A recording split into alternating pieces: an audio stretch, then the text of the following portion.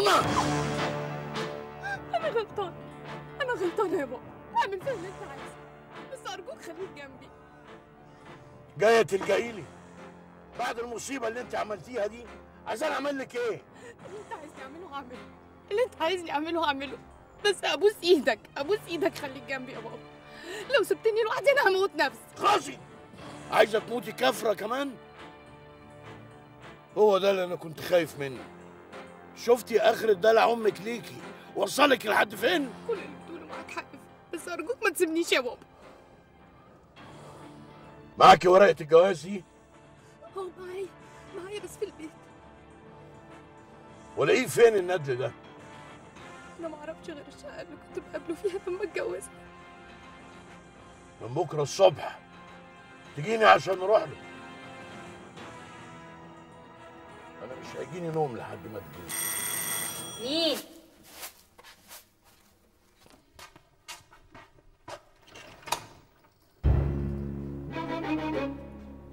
صباح الخير. صباح النور. هي دي شقة الأستاذ عادل؟ والله العظيم دي مش شقة الأستاذ عادل.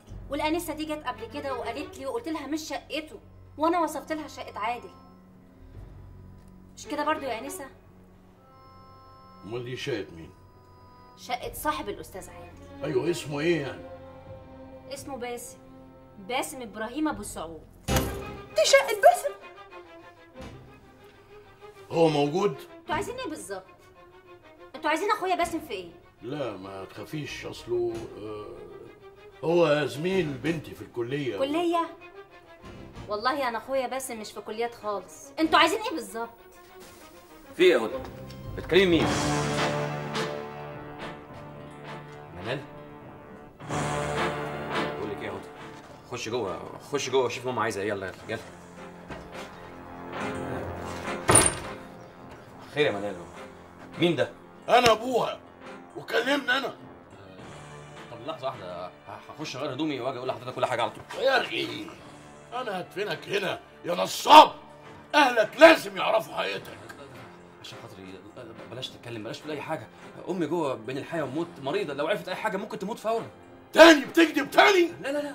وأنا هكدب ليه صدقني والله دي الحقيقة. أبوك فين؟ آه، أبويا ميت من زمان. كدبه جديدة دي طبعا. وأنا هكدب عليكم ليه بس يا جماعة؟ ما خلاص أنتوا جيتوا وعرفتوا مكاني فين وعرفتوا عني كل حاجة.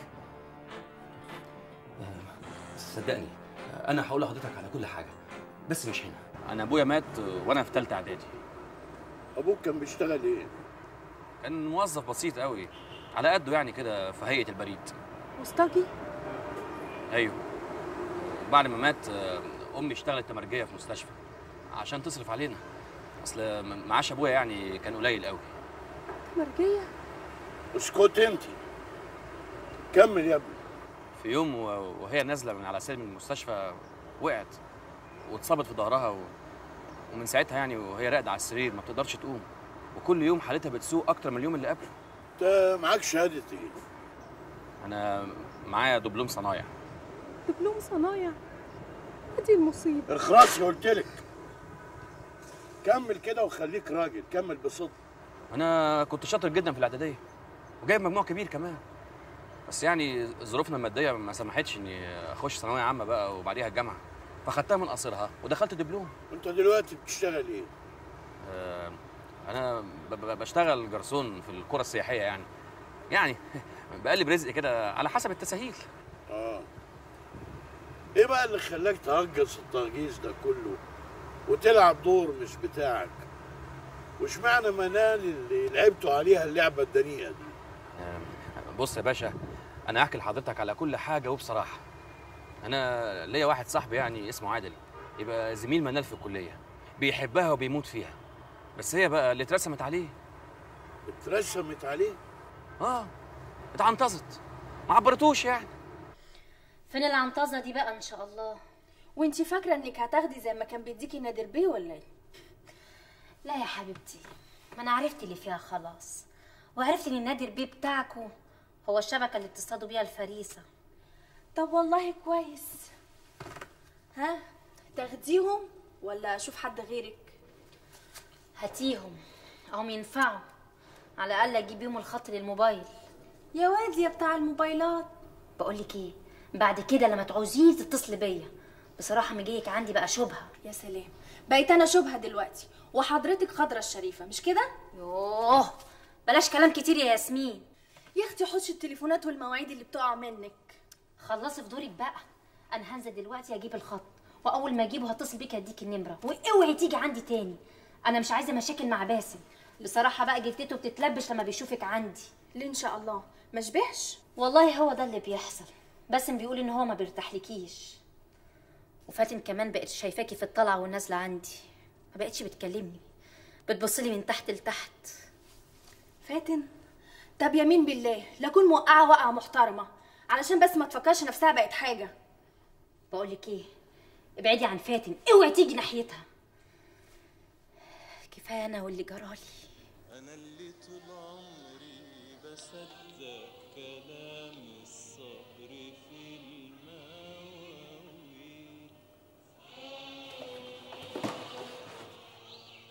وأنا أنا اللي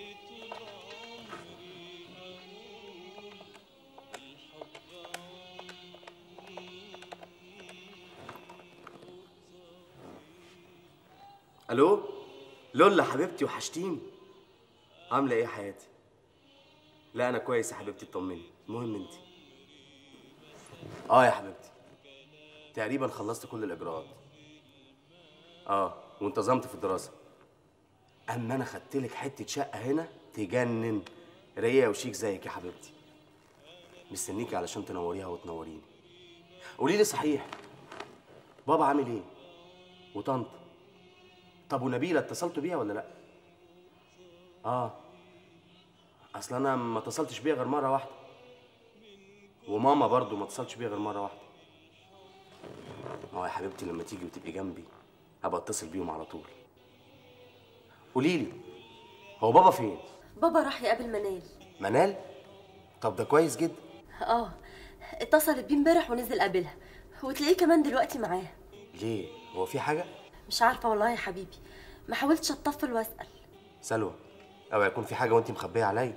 لا ابدا والله ما مخبية عليك حاجة. مفيش أكتر من اللي قلته لك طيب خلاص يا حبيبتي. عموما أنا هبقى أتصل تاني عندكم أو عند منال عشان أطمن. المهم دلوقتي بس انت جهزي نفسك كده واستعدي عشان كلها أيام وتبقي معايا يا روحي. ده يوم المنى يا حبيبي. أنا مستنية اليوم ده بفارغ الصبر. طيب يا حبيبتي خلي بالك من نفسك ها؟ وبيسلمي لي عليهم. لا إله إلا الله. محمد رسول الله. مع ألف سلامة يا حبيبي.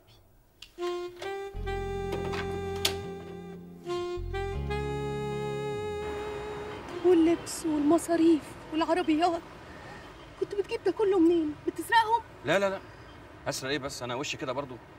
أنا كنت بستلف اللبس من واحد صاحبي بيشتغل في مغسلة في الزمالك. كنت باخد منه الهدوم وأرجعها له تاني يوم على طول. العربيات العربية اللي كانت معايا هنا في مصر كنت سالفها من واحد صاحبي بيشتغل في معرض عربيات. و... والعربية اللي رحنا بيها اسكندرية كان عادل صاحبي سالفها من واحد صاحبه. و... وبعدين يا باشا أنا قانوني ماشي قانوني وزي الفل. ومعايا رخصه سواقه أنا أصلي اشتغلت سواق فترة كده يعني قبل ما أروح وأشتغل في القرى السياحية. كنت بتجيب الفلوس منين؟ آه، كنت أنا وعادل صاحبي داخلين جمعية ولما قبضناها صرفت منها. بس يعني لما الفلوس خلصت آه، خدت مبلغ كده من منال بس إن شاء الله إن شاء الله هرده كله في أقرب وقت وعلى داير مليم كمان. وشغل النصب والأفلام دي كلها؟ لمجرد إن منال رفضت صاحبك تقوموا تعملوا فيها كده تضيعوا مستقبلها. أنتوا إيه اتجردتوا من الضمير خالص؟ يا باشا يا باشا أنا ما كانش في دماغي حكاية الجواز العرفي دي خالص والله. ده هي طقت كده في دماغي يعني وإحنا في اسكندرية. آه، اصلي بصراحة حسيت يعني كده إنها يعني حسيت إيه؟ كلم حسيت إنها سايبة. ملهاش كبير يعني. بصراحة أي واحد مكاني مش هيسيب الفرصة دي إلا لما يستفيد منها أكبر استفادة. قصدك أي واحد صايع وانتهازي وما ترباش زيك. يا باشا يا باشا أنا حبيتها بجد حبيتها. وبعدين فكرت إني أتجوزها بس طبعا أنا ما أقدرش أتجوزها رسمي يعني. ما تقدرش يعني إيه؟ ممكن ما اسمعش صوتي خالص؟ مهم دلوقتي. ناوي تعمل إيه في الوضع اللي أنت فيه؟ هعمل إيه يا باشا؟ أنا لا أقدر أتجوزها رسمي ولا أقدر كمان أتحمل مسؤولية طفل يعني. غصب عنك. هتتحمل ده وده. يا عمي يا عمي افهمني بس. ما تقولش عمي. ما عايزينك تجوزها رسمي. مش عايزين منك حاجة. إحنا عايزين بس اللي يثبت نسب الطفل ليك. بعدين يبقوا تنيلوا تطلقوا أيوه يا باشا بس أنا مش هقدر يعني. تقدرش يعني إيه؟ حد طلب منك حاجة؟ مش حكاية طلبات. حكاية بس إن إن أتجوز رسمي دي دي في حد ذاتها مسؤولية يعني. أنت فاكرنا واقعين في عرضك؟ ولا هنتجنن على النسب الشريف. مش كفاية إن الطفل ده هيتنسب ليك. دي في حد ذاتها مصيبة أساسا. مصيبة؟ دلوقتي بقت مصيبة؟ عشان طلعت فقير يعني بقت مصيبة؟ لا مش عشان طلعت فقير عشان طلعت غشاش ونصاب وما تربتش. ماشي يا باشا مقبولة منك برضه. بس يا ريت بقى يعني تسيبني يومين كده أفكر في الموضوع وأرد عليك على طول. اسمع أي محاولة للهرب هجيبك من تحت الأرض. معقول يا باشا؟ يعني ههرب أروح فين بس؟ أسيب امي واختي لمين يا باشا؟ يلا اتكل على الله. بعد يومين هتلاقيني فوق دماغك. تكون استخاريت هتعمل إيه؟ تشرف وتأنس يا باشا. بالإذن. هنعمل إيه يا ابو هنعمل إيه؟ أنا مضطر اضرب ولائي من صباعي تحت ضرسه. الورقة اللي معاكي مش كفاية عشان سمعتك قدام الناس. مضطر استحمل تصرفاته. لحد ما أجيب منه ورقة جوازك رسمي. ده اللي أنا هعمله. الكلام اللي هقوله لك ده كان لازم أمك هي اللي تقوله. لكن ربنا يسامحها بقى أكيد مش فاضيالك بتجري عشان تجيب لكم فلوس. وفاهمة إنها بالفلوس تبقى عملت اللي عليها. وادي النتيجة. إنك وقعتي في المصيبة اللي إحنا فيها دلوقتي. البنت أول سنها ما يوصل لمرحلة النضوج بتتفتح عليها اقفاص الذئاب من كل اتجاه. الكل عايز ينهش فيها وكل ديب وله طريقته. الأسلوب المضمون هو التظاهر بالحب والرغبة في الجواز. ده ملوش غير سكة واحدة إنه يروح يخبط على باب أهلها. إذا ما عملش كده بقى وقعد يحكي حكايات وروايات وأعذار يبقى هدفه بعيد عن الشرف والرجولة. يبقى نصاب وكذاب البنت بقى العاقلة اللي متربية كويس اللي بتحترم أهلها وعيلتها وقبل ده كله بتحترم نفسها تواجه الديب ده بحقيقته. وتقفل الباب في وشه. إنما إذا ضعفت واستسلمت قدام وهم الجواز فتبقى ضاعت وضيعت أقرب الناس ليها. أيوه بس أنا عمر ماما ما اتكلمت معايا في الحاجات دي. ذنبك في رقبتها. ده اللي مخفف عني شوية غضبي منك. سامحني يا بابا أسامحك؟ لا. التمس لك العذر. وده اللي هيخليني أحاول أصلح المصيبة اللي أنت وقعتينا فيها. حطيتي كل حاجة؟ آه يا ما نسيتيش أي حاجة؟ لا اطمني. الحمد لله على السلامة. الله يسلمك. أنت شكلك مجهد قوي كده ليه؟ لا ابدا وحسام بعتلك. اتصل بيا النهارده وقال لي خلاص كلها كام يوم وهروح له. على خيرة الله يا بنتي. هي أخبار منال إيه؟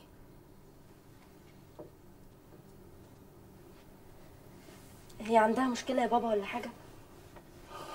أيوه. مشكلة جامدة؟ يعني؟ على فكرة يا بابا حسام هيتصل بيك عشان يطمن على منال. عارف إزاي؟ أنا قلت له إنها اتصلت بحضرتك ونزلت قابلتها. فاستغرب. ده حتى كان فاكرني عارفة حاجة ومخبية عليه. مالك يا بابا؟ شكلك ما يطمنش أبدا. فعلا يا سلوى ما يطمنش خالص. إحنا مش بنضغط عليك عشان تقول لنا حاجة لكن عايزين نقول لك ما تشيلش هم وسيبها على ربنا. ربنا يعمل ما فيه الخير.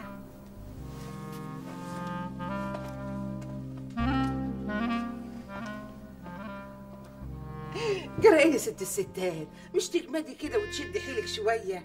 والله ما أنا عارفة يا فاطمة صحتي مالها. ما بقيش استعمل أي حاجة. إيه؟ ده الحلو بيتدلع بقى علشان يشوف غلاوته عندنا. يلا يا حبيبتي قومي قومي كده وافردي طولك عشان تاكليك لقمة كده تسند قلبك. أنا فعلا حاسة إني جعانة ونفسي مفتوحة. بركه بركه وأنا بقى هجيب لك أكلة اللي هي انت طبخة إيه النهارده؟ عاملة طاجن ترلي في الفرن تاكلي صوابعك وراه. طب قومي قومي. جريتي لي ريقي موتيني من الجوع. حضري الأكل يلا. جبت فواكه؟ الست نبيلة جابت عنب وبطيخة حمرا مرملة زي العسل. طب حضري لي طبق بطيخ يكون ساقع متلج من عينيا يسلم عينك يا جميل انت. بسم الله ما شاء الله. إيه النور ده كله يا ماما؟ ده أنا عيني عليكي برد. بس أهي جات لك أميرة الأمراء وأنا أروح أحضر لك الأكل. أيوه كده يا ماما. فوقي كده ونورينا. أنت نزلت رحت فين النهاردة؟ نزلت. أيوه نزلت. فاطمة قالت لي بأمارة ما جبت العنب والبطيخ. يعني هروح فين بس يا ماما؟ أنا مش عايزاكي بس تشغلي بالك بحاجة. ما أشغلش بالي يعني إيه؟ هو أنا عشان تعبت شوية وقعدت في البيت هتلبسوني طرطور؟ لا لا سمح الله يا ماما أنا ما أقصدش كده. أنا قصدي بس مش عايزاكي تشيلي هم حاجة. أنا شايلة همومي يا حبيبتي طول عمري ولغاية لما أموت وأحكم بلد بزيها مش بيتي وبس. حاضر يا ماما. أنا هقولك كنت فين. اتفضلي قولي لي كنت فين. الواد سعيد بتاع الورشة جه النهارده الصبح وقال إن المعرض لازم يستلم أربع أوض جايين من دمياط وإنك لازم تكوني موجودة ساعة الاستلام لأن عم سيد مسافر. فجيت أقولك لقيتك نايمة وتعبانة. صعبتي عليا مرضتش أصحيكي. فنزلت وقفت ساعة الاستلام ومضيت وخلصت كل حاجة زي ما كان رياض بيعمل بالظبط. أصل الله يرحمه كان بيحكي لي على كل حاجة في شغله. ما تغيبيش عليا يا سلوى. ما أقدرش اغيب عنك ابدا يا ماما. ده أنا عمري ما سبتك في حياتي. والنبي يا بابا خلي بالك قوي من ماما. حاضر. هخلي بالي منها سلوى اوعي تهملي في مذاكرتك. ما تخافيش يا حبيبتي. أروح الجامعة واتابع كل حاجة. واجيب لك مواعيد امتحانات كمان. ربنا يخليك ليا يا بابا. أنا دايما تعباك معايا. أنا عارف بس أنا سعيد بكده. ربنا يرجعك ليا بالسلامة.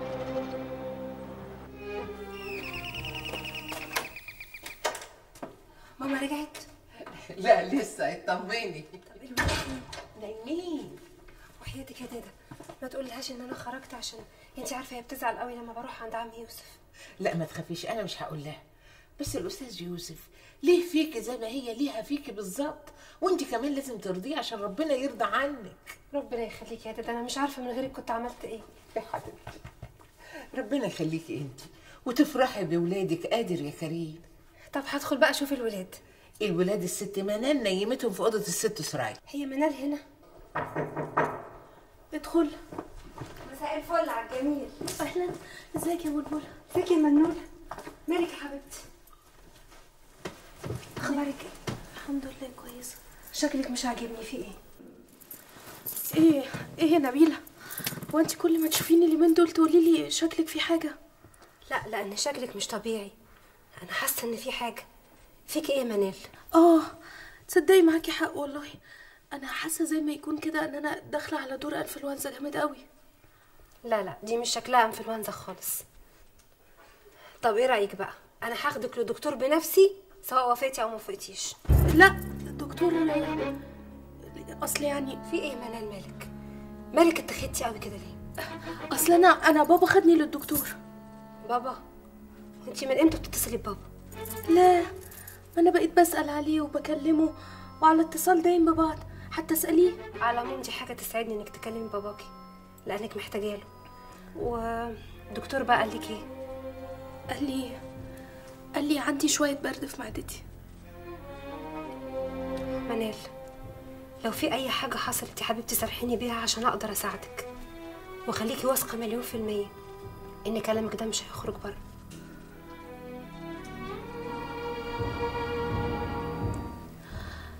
أنا فعلا محتاجة لك يا نبيلة. كلمي يا حبيبتي. احكي لي كل حاجة عايزة تقوليها وكأنك بتكلمي روحك. نبيلة أنا متجوزة وحامل وبابا عارف. أنا مش مصدقة اللي حصل ده يا عمي. وللأسف طلع ولد ما عندوش أخلاق طلع كذاب وواطي. طب وبعدين؟ إيه العمل؟ أديني مستني رده أشوف هيقول إيه. هيقول إيه؟ ده لازم يتجوزها ورجله فوق رقبته كمان. عموما منال معاها ورقة الجواز العرفي وماضي عليها اتنين شهود. طب والورقة دي كافية يا عمي؟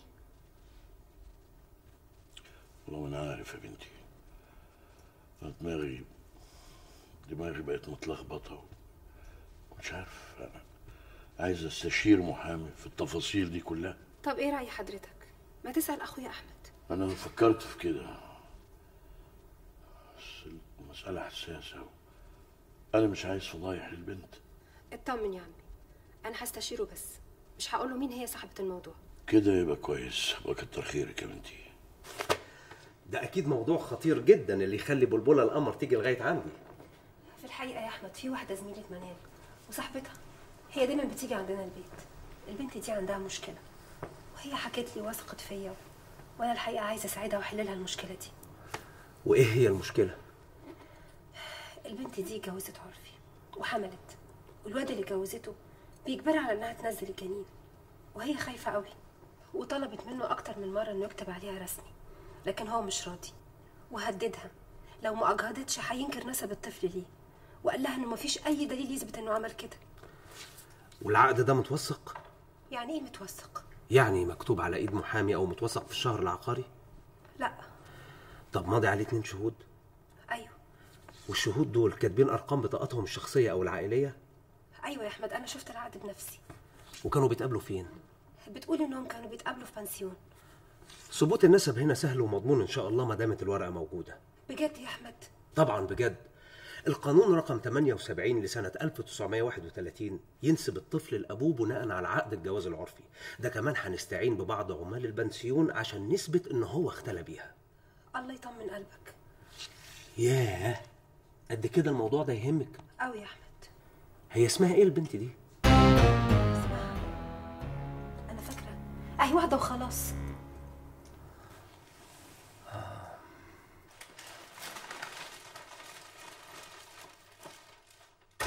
منال موني منال تعالي شوفي جبت لك حاجات تجنن منال انت نايمه ولا إيه يا حبيبتي موني نقيت لك أحلى حاجات في السوق جبتها لك يا منال. مالك يا حبيبتي. نوراني يا فاطمه الحقيني يا فاطمه يا فاطمه استر يا ست منال! منال وقعت مني الحقيني ده الدكتور اللي في وشنا ده. اجري يا فاطمه يا خراب يا بنتي! يا حبيبتي يا بنتي! خير يا دكتور بنتي مالك. مفيش حاجة. يعني إيه مفيش حاجة؟ ما تطمني يا دكتور. مالك يا مدام سوريا؟ قلقانة كده ليه؟ يعني إيه قلقانة كده ليه يا دكتور؟ ما انت شايف وشها أصفر زي الليمونة إزاي؟ طب تعالوا بس بره عشان دلوقتي هي لسه نايمة. اتفضلوا. طب اتفضل اتفضل حضرتك. يا رب استر يا رب. اتفضل يا دكتور اتفضل. يا رب استر يا رب. اتفضل. تقدر تقولي في إيه بقى؟ خير في إيه؟ ست منال ست منال ما طمني تعبانة. يا دكتور؟ في إيه؟ معقولة؟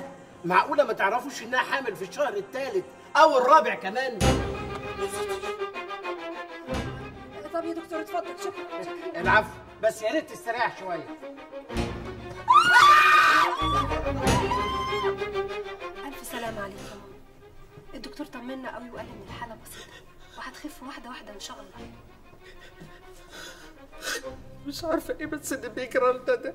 إيه يا دادا بس في إيه؟ بتعيطي ليه؟ انت مش سامعة الدكتور بيقول إن الحالة بسيطة. مش نقول الحمد لله. الحمد لله أنا رايح أجيب الحقن الناقص يا نبيلة طيب يا ألف سلامة عليك يا ست مرياض ربنا يشيل عنك إن شاء الله. أنت بس شدي حيلك كده وأجمدي. خلاص يا منال بقى. اللي حصل حصل. أنا السبب يا سهى أنا السبب. لو جرى لها أي حاجة مش هسامح نفسي ابدا. ابدا. خلاص بقى يا منال. كل شيء اسمه نصيب ما تعمليش في نفسك كده. اللي حصل حصل. نبيله مامي عاملة إيه؟ كويسه الحمد لله. دادا فاطمه قاعدة معاها في المستشفى وأنا اضطريت أجي عشان أشوف الولاد. من بكرة إن شاء الله هبقى معاها وأنا هترضى تشوفني. هحاول بكرة أتكلم معاها وأشرح لها اللي حصل. هتقولي لها إيه؟ هقول لها اتجوزت طبعا عارفين أمال هعمل إيه؟ مش أحسن ما تفكر تفكير تاني مش كويس. أيوه بس برضو يعني الجواز العرفي أصلا. عندك حل تاني؟ مش عارفة. أنا ما يهمنيش كل ده. أنا عايزة أطمن على ماما. قولي لي الدكاترة قالوا إيه يا نبيلة؟ قالوا تعرضت لصدمة جامدة قوي وجالها جلطة.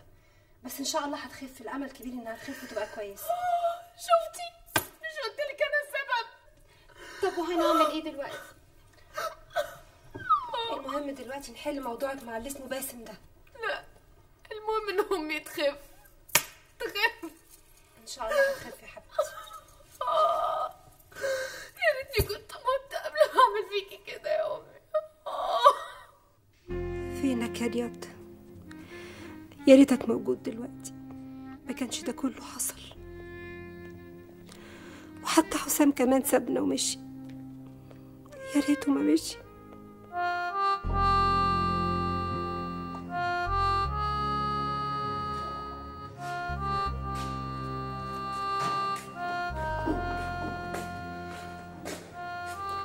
يا صباح الفل على أجمل عيون في لندن. صباح النور يا روح قلبي. عامل إيه؟ الحمد لله يا حبيبتي. قولي لي إيه اللي مصحيكي بدري كده؟ طبعا لازم اصحى بدري. مش جوزي حبيبي. عنده محاضرة الساعة 10 يبقى لازم يصحى يلاقي الفطار جاهز عشان ما تتأخرش. يا روح قلبي ربنا ما يحرمنيش منك ابدا. طب يلا بقى يا حبيبي. قوم خد دش والبس على بال ما اكمل تحضير الفطار. ماشي. إيه يا حبيبي؟ مالك؟ مش عارف. صحي كده مخنوق ومتعكم ليه؟ أنا زعلتك في حاجة؟ أنتي؟ ده أنا لو زعلت من الدنيا كلها عمري في حياتي ما أزعل منك ابدا. لا أصل أنا صحيت كده حلمت بحلم وحش قوي ضايقني وخنقني وعكنني خير يا حبيبي. احكيهولي. بس الأول قول اللهم اجعله خير. شفت يا ستي اللهم اجعله خير؟ أمي مرمية في مكان كده زي ما يكون صحراء وتايهة. وعينيها مليانة خوف. حسيت إنها مخنوقة. مش قادرة تتنفس ولا قادرة تتكلم حتى. وأنا واقف بعيد قوي. عمالة تشاور لي. وأنا مش عارف أوصل لها. غريبة قوي. معلش ما تقلقش. إن شاء الله أول لما ترجع النهارده من الجامعة نتكلم نطمن عليها. أصل أنا خايفة أقول لك نكلمها دلوقتي. لسه بدري قوي. لحسن هما يقلقوا. صح. عندك حق. أنا برضو فكرت في كده. طب يلا يا روحي بقى. روح البس وتعالى أفطر. وإن شاء الله لما نكلمها هنلاقي كل شيء تمام. يا رب. يا رب يا سلوى.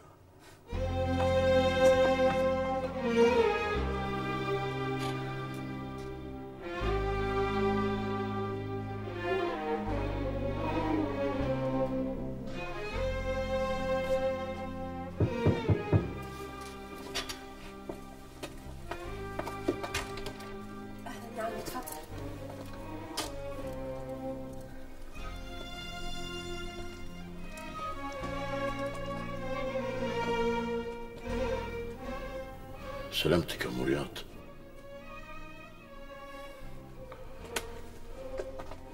الدكاترة قالوا إيه يا نبيلة؟ الحالة ما اطمنتش يا عمي. بس حضرتك عرفت إزاي؟ منال اتصلت بيا في التليفون وقالت لي. معلش يا عمي أنا آسفة. المفروض إن أنا اللي كنت أبلغ حضرتك. بس هي تعبت فجأة و...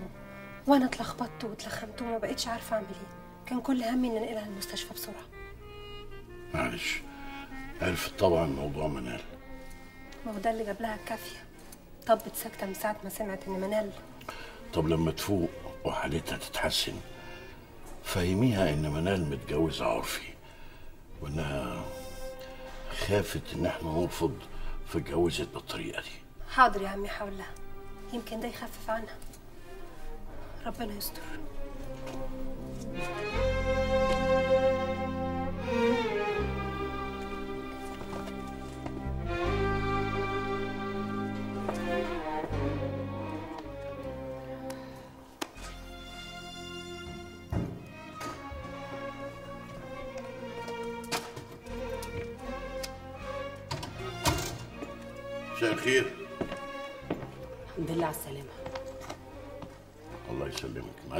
معلش اتاخرت عليك شوية. اتأخرت بس.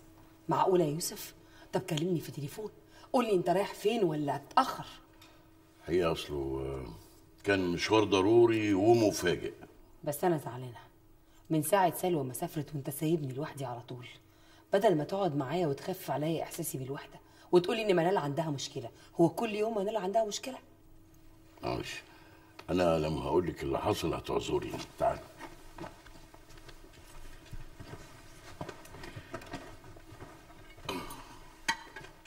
يا ست إن منال اتصلت بيا وقالت لي إن والدتها تعبت فجأة ونقلوها المستشفى.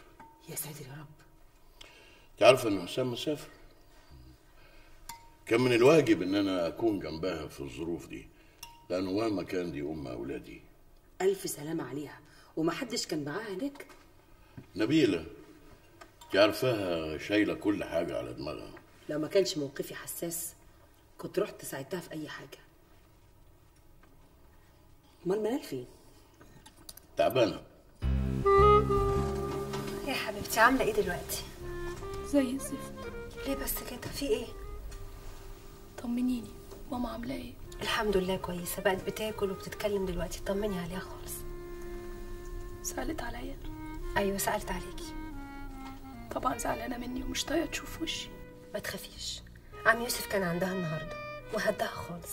قال لها أنا عارف كل حاجة وهحل الموضوع وهتصرف بنفسي. ما تقلقيش بقى. حبيبي يا بابا يا ريتني قربت لك من زمان. يا حبيبتي كل شيء بأوان. إن شاء الله اللي جاي أحسن من النهارده. المهم دلوقتي أنا عايزة أكلمك في موضوع. موضوع إيه؟ خير. أنا سألت أحمد أخويا بخصوص إثبات نسب الطفل اللي في بطنك أحمد قلت له بس ما قلتلوش إن الموضوع يخصك اطمني. اوعى يا نبيله يكون فاهم الكلام معقولة؟ معقولة يا منال؟ هو أنا هبلة؟ طب وقال لك إيه؟ ولا حاجة. قال لي إن موضوع إثبات النسب ده سهل جدا. اولا عشان في شهود ماضيين على العقد وأرقام بطاقتهم موجودة برضه في العقد. الحاجة التانية إن البنسيون اللي كنتوا بتنزلوا فيه أكيد هنلاقي حد يشهد إنه اختلى بيكي. تصدقي معاه حق. أنا كان في بالي أقول له على موضوع الشهود ده. لا أوعى تقول له على حكاية الشهود دي. ليه؟ يعني هو مش واخد باله إنه إحنا نلفت نظره ما هو ساعتها ممكن يروح للشهود ويشتريهم. يا ساتر يا رب. هو في حد ممكن يقبل يشهد زور؟ طب يروح من ربنا فين؟ الكلام ده عندك انت بس. يا نبيلة في ناس كتير قوي نفوسها ضعيفة وممكن يعملوا أي حاجة في الدنيا في مقابل الفلوس. اللي خلى الواد ده ذات نفسه عايز يتبرى من ابنه. يبقى انت تقولي لي محدش يشهد زور؟ ده إحنا بقينا في زمن العجايب. صح عندك حق. يبقى هي المفروض فعلا ما تقولوش حاجة. بس قول لي يا أحمد هو إثبات النسب ده يعني بيحصل علشان الأب يعني يصرف على الطفل وكده؟ لا هو ثبوت النسب أساسا بيبقى عشان الطفل يتكتب في شهادة الميلاد باسم أبوه وبكده يبقى طفل شرعي. أما بقى اللي ما بتثبتش نسبه لشخص بعينه بيبقى والعياذ بالله يعني جاي من طريق غير مشروع. أعوذ بالله. أما مسألة المصاريف دي بقى فالجواز العرفي غير ملزم للزوج بأي مصاريف أو التزامات للزوجة اللي هي المهر والشقة والنفقة والمؤخر والحاجات دي كلها. لكن بعد إثبات النسب ممكن للزوجة إنها ترفع دعوة عشان الأب يصرف على ابنه. يا ساتر يا رب. يعني الراجل من دول يتجوز وخلاص ويبقى خالص مخلص لا يصرف ولا يعمل حاجة يدوب بس العيال يشيلوا اسمه. على فكرة يا أحمد الجواز العرفي ده الخسران الوحيد اللي فيه هو الست. آه طبعا أمال إيه؟ وبعد كده الأولاد. أكيد ما كانتش تعرف كل الحاجات دي وإلا ما كانتش وقعت في الجوازه المهببة دي من اصله طبعا ما هي منال طول عمرها متنورة. منال؟ مين اللي جاب سيرة منال؟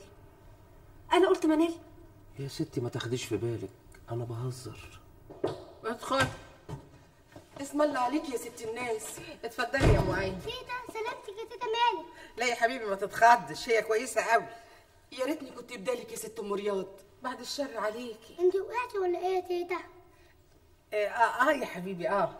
هتقومي هتقومي إن شاء الله وهترمحي زي الحصان. قادر يا كريم. قومي يا تيتا قومي يا تيتا وأنا هسنده وخليكي تمشي كويس. يا حبيبي. أيمن كفاية بقى ما تضايقش تيتا. أنا مش بضايقها أنا عايزة تقوم عشان أسندها. يا حبيبي. ادعي لها يا اخويا ادعي لها إن ربنا يقومها لنا بالسلامة وإحنا كلنا نعمل لها خدنا مداس وندوس عليه. آه والله. ست فاطمة أنا فاضية وما ورايش حاجة. من هنا ورايح أنا هبات معاها وهكون تحت رجليها. تعيشي يا حبيبتي. أنا والست نبيلة بنريح بعض. ليه كده يا ست فاطمة؟ هو أنتوا معتبريني غريبة؟ ما غريب إلا الشيطان. ما انت في إيدك أيمن الله يعينك عليه. لا والله ابدا. ده أنا مهما عملت ما يجيش حاجة من جمايلها عليا. والنبي ما تحرموني من خدمتها. آه، حاضر. أنا هقول للست نبيلة وببعت لك. ماشي يا ست فاطمة. ده أنت لو طلبت عينيا هديها لك على طول. يا رب يا رب تقومي بألف سلامة بحق عملك الطيب. ها يا تيتا مش يلا بقى؟ يلا إيه يا حبيبي؟ عايزة تقوم عشان أسندها.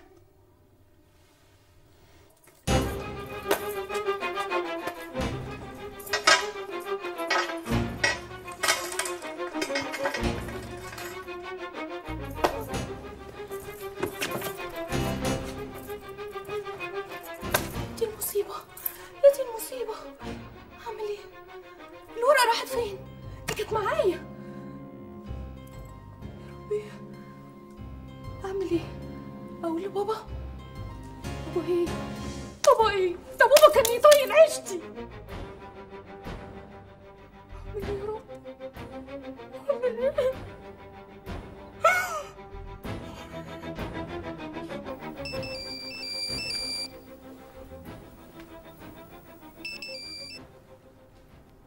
ألو. أيوه منال. إيه مالك؟ بتعيطي ليه؟ إيه؟ ضاعت. ده كلام.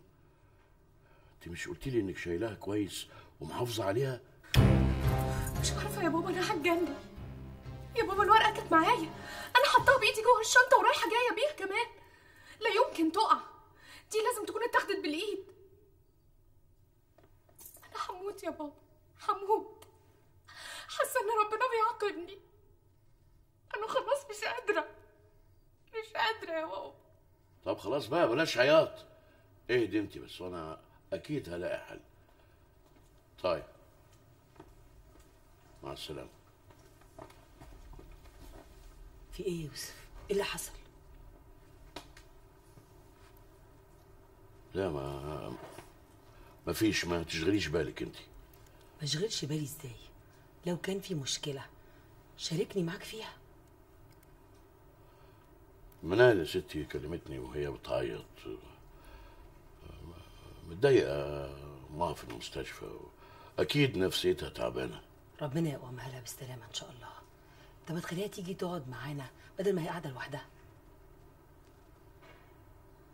أنا هروح أطمن عليها. و- وأبقى أقول لها 200 جنيه مصاريف العلاج. 150 جنيه مصاريف. كلم يا باسم. كلم مين؟ ده الراجل اللي جه قبل كده ومعاه البنت وخدك. إيه ده؟ آه، هو فين؟ واقف بره. ودخلتيه ولا لا؟ لا هو واقف مستنيك بره. كان عايز يدخل. النيلة السوداء هو في إيه يا باسم؟ مفيش حاجة. بقول لك إيه خشي اقعدي مع ماما جوه تقفلي باب الأوضة ما تطلعيش لغاية ما أقول لك أنت فاهمة؟ ليه؟ من غير ليه؟ اسمعي الكلام وأنت ساكتة خلينا نخلص. حاضر.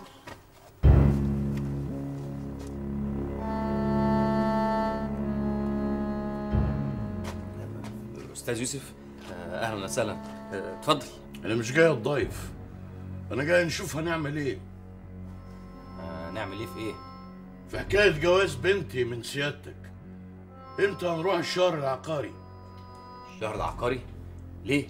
عشان نوثق الورقة اللي معاك والورقة اللي مع منال. آه، طيب أنا أنا إن شاء الله هبقى أسأل في الإجراء ده وأرد على حضرتك على طول يعني. أحسن لك تعمل اللي أنا بقوله وإلا هيبقى لي تصرف تاني معاك. أنت فاهم؟ آه طبعا فاهم فاهم. إن شاء الله بكرة بالليل بالكتير يعني. هكون رديت على حضرتك وقلت لك هنعمل إيه بالظبط. طيب.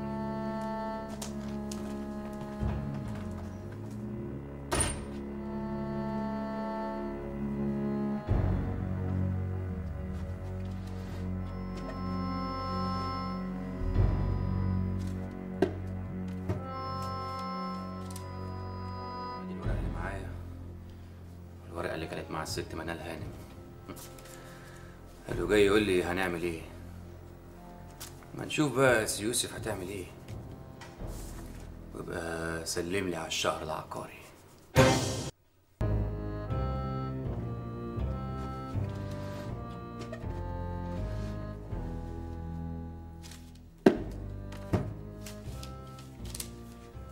ادي الورقة اللي معايا.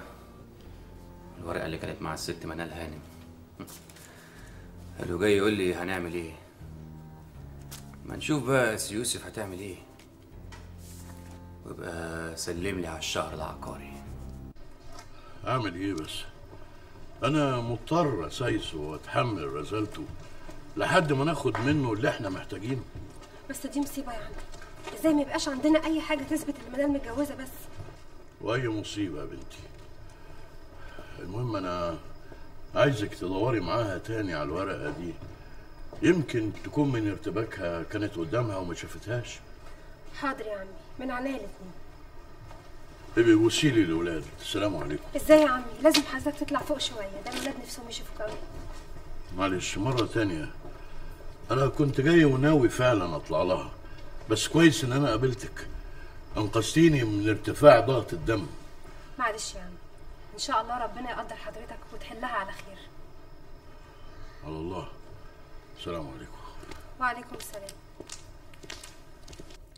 وجهي. لا طبعا. أنا لا يمكن اعرفه إن الورقة دي ضاعت مني. أنت مش بتقولي إن أنت شاكه إن هو اللي أخدها؟ ده مجرد شك. وبعدين؟ مساء الخير على البنات الحلوين. مساء النور. نبيلة. ماما عاملة إيه يا نبيلة؟ الحمد لله حبيبتي كويسة دلوقتي أحسن قوي من امبارح. شفتي اللي جرى لي يا نبيلة؟ إيه يا حبيبتي؟ عشان عقد الجواز رضاع يعني؟ إيه ده؟ انت عرفتي إزاي؟ عم يوسف قابلني تحت وبيقول لك انه قابل الزفت ده اللي اسمه باسم وحدد ميعاد معاه بكرة عشان يقعدوا يشوفوا إيه اللي هيتعمل بالظبط. يعني بكرة هنعرف إيه اللي هيتعمل بالظبط؟ إن شاء الله. بس على الله يصدق في كلامه لازم يصدق. هي الحكاية لعبة ولا إيه؟ ده طفل.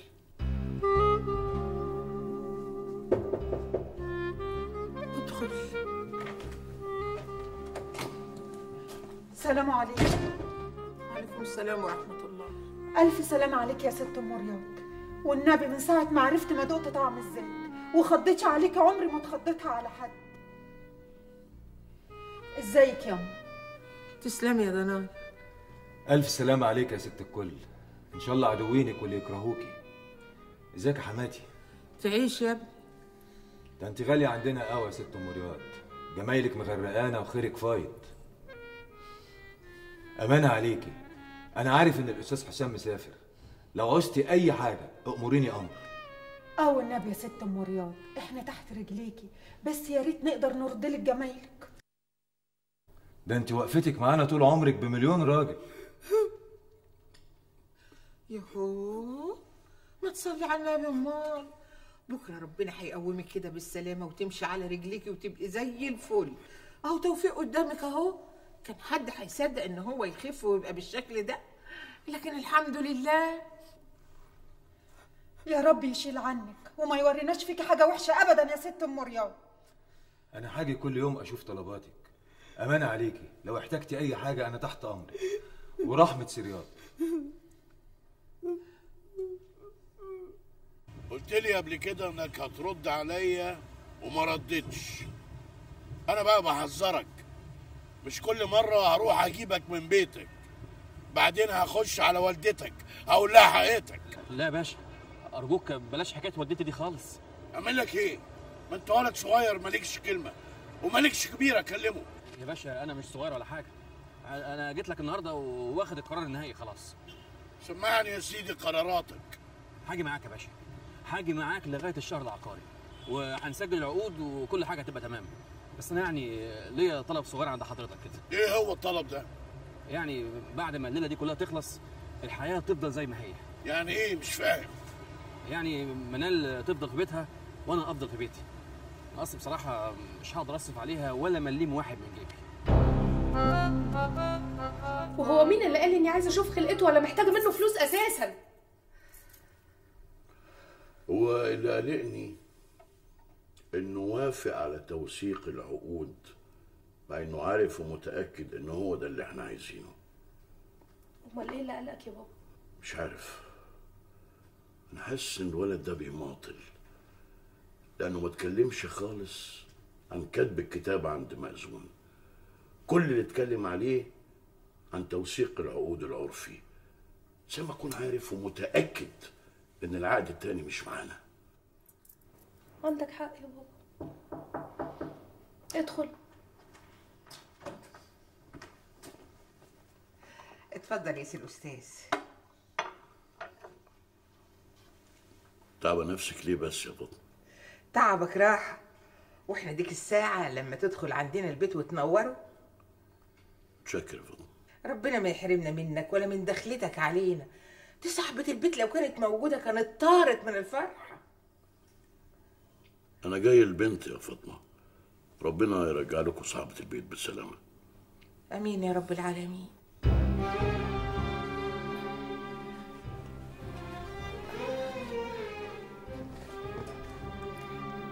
نبيلة. نبيلة. ماما انت اتكلمتي؟ الحمد لله يا رب.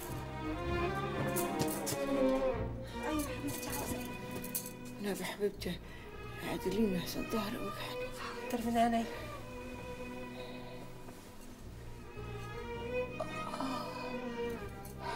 ارتاحة كده. الحمد لله. معلش يا بنتي؟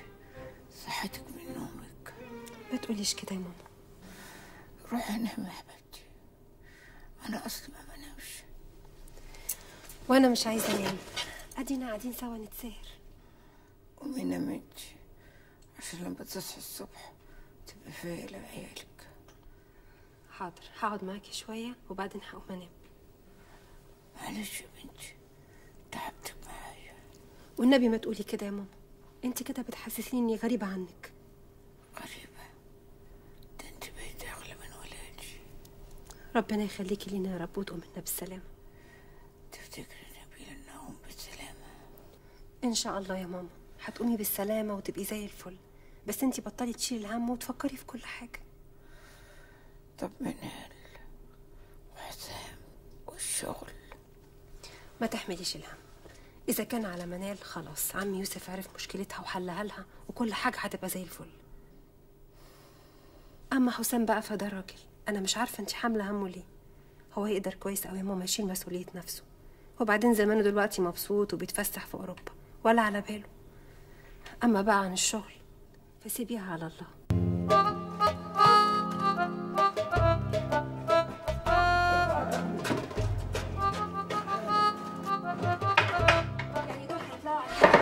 آه طبعا. ما هم جاهزين من المجاميع أهو. دول يطلعوا على المعرض اوام وعم سيد معاك اهو ولا حاجة تم مع التسليم كمان ساعتين. حاضر أستاذ سعيد.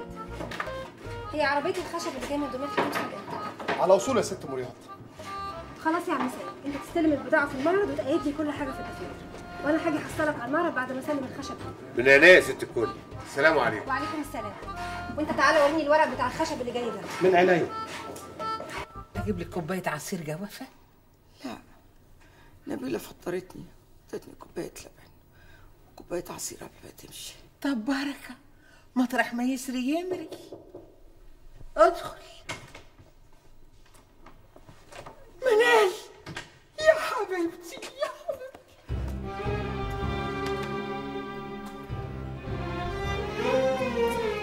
سامحيني سامحيني يا ريت كان جرالي اللي جرالي ده.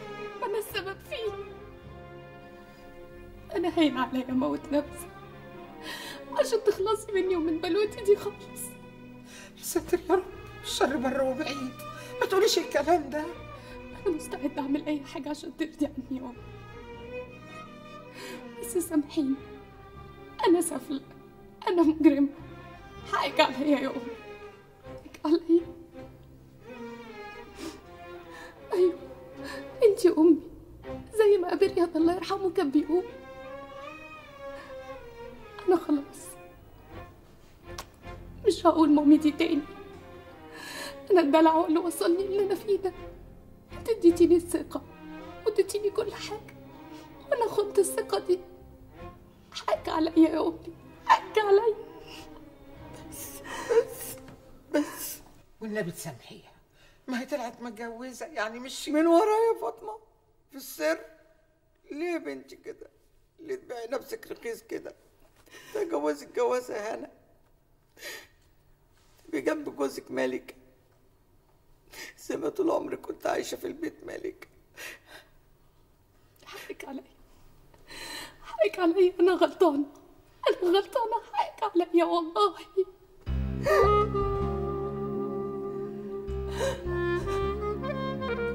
بس كفاية يا بنتي كفاية. ده هي ممنوعة من الهرية والنكتة دي. طب خلاص خلاص ما تزعليش نفسك. أنا همشي. لو مش عايزة تشوفي وشي تاني حتى مش هوريهولك.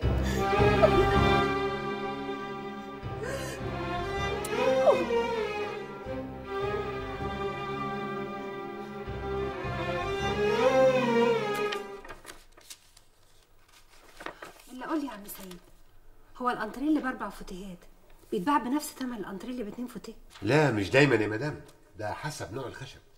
يعني الانتريه بتاع النهارده ده الصغير ده خشبه زان الانتريه التاني الكبير خشبه مش قد كده. في الحالة دي بقى إحنا بنبيع الاتنين بنفس الثمن أو بسعر تقريبا زيه. آه.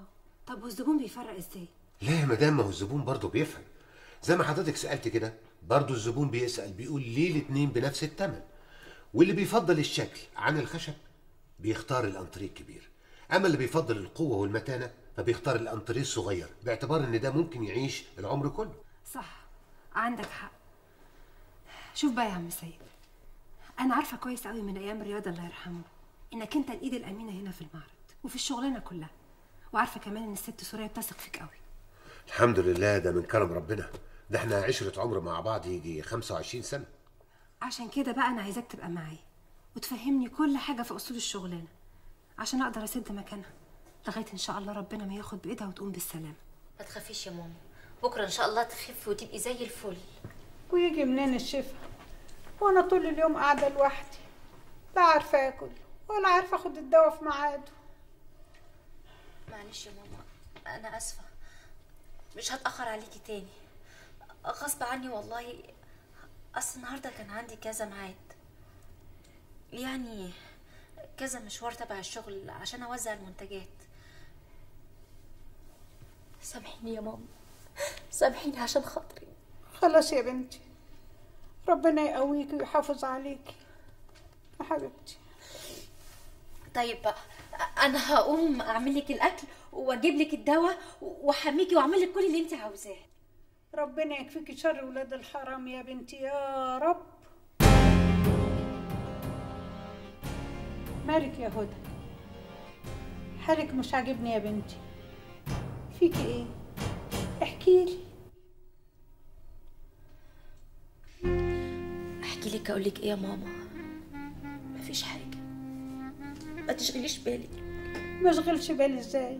هو حد شغل بالي إلا انت وباسم أنا بخير يا ماما بس هو الشغل بتاعنا متعب شوية. طول النهار بلف على رجليا المحل شركة المعرض. ده يشتري والتاني ما يرضاش. أعمل إيه بقى يا ماما؟ الرزق يحب الخفايه المهم تكوني بتاخدي على قد جهدك. باخد يا ماما. باخد. أنا عايزاكي تطمني خالص. وأي حاجة عاوزاها اطلبيها مني. ربنا يوسع عليكم يا ولادي يا رب. أنا هجيب لك تاكلي بقى. تعرفي أنا جايبة لك النهارده أكلة بتموتي انت فيها. ليه يا بنتي؟ بتبعزقي كل قرش يجيلك على الأكل. ده تلاقيه غالي قوي. مفيش حاجة تغلى عليك يا ست الكل. يلا بقى أنا هجيب الأكل لحسن أنا كمان عصافير بطني بتصوصو. يا حبيبتي يا بنتي. مش هتأخر عليكي.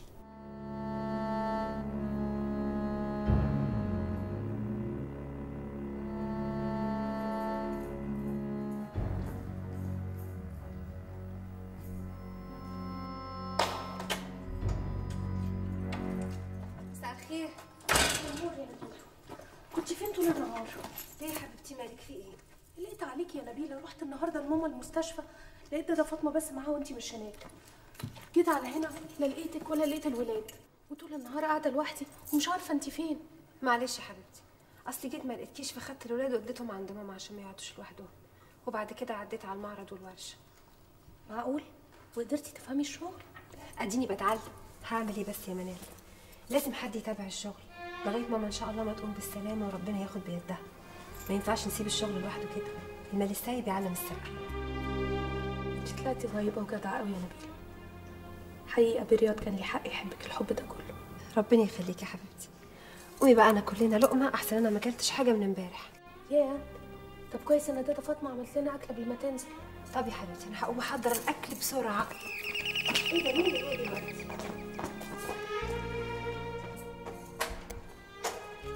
أهلا يا حمادة تعال. إزيك يا بلبلة؟ أنت فين؟ أنا دايخ عليك من الصبح. رحت زرت الست سرايا النهارده المغرب ما لقيتكيش هناك. جيت هنا مرتين ما لقيتش حد. وماما قالت لي إنك سايبة عندها الأولاد من الظهر. طب تعالى أنت هتتكلم عن الباب تعالى. مساء الخير إزيك يا منال إزيك يا أحمد. مبروك على المكتب. يا أنت لسه فاكرة؟ تعالى اقعد يا أحمد. إيه رأيك بقى تتعشى معانا؟ لا ما أقدرش. أنت عارفة ماما ما بتاكلش أي حاجة غير لما برجع. يا سلام. طب ما تاكل لقمة معانا وبعدين أبقى أكمل مع طنط. أيوه يا أحمد منال عندها حق. أنا هحضر الأكل بسرعة. اتفضل. اتفضل.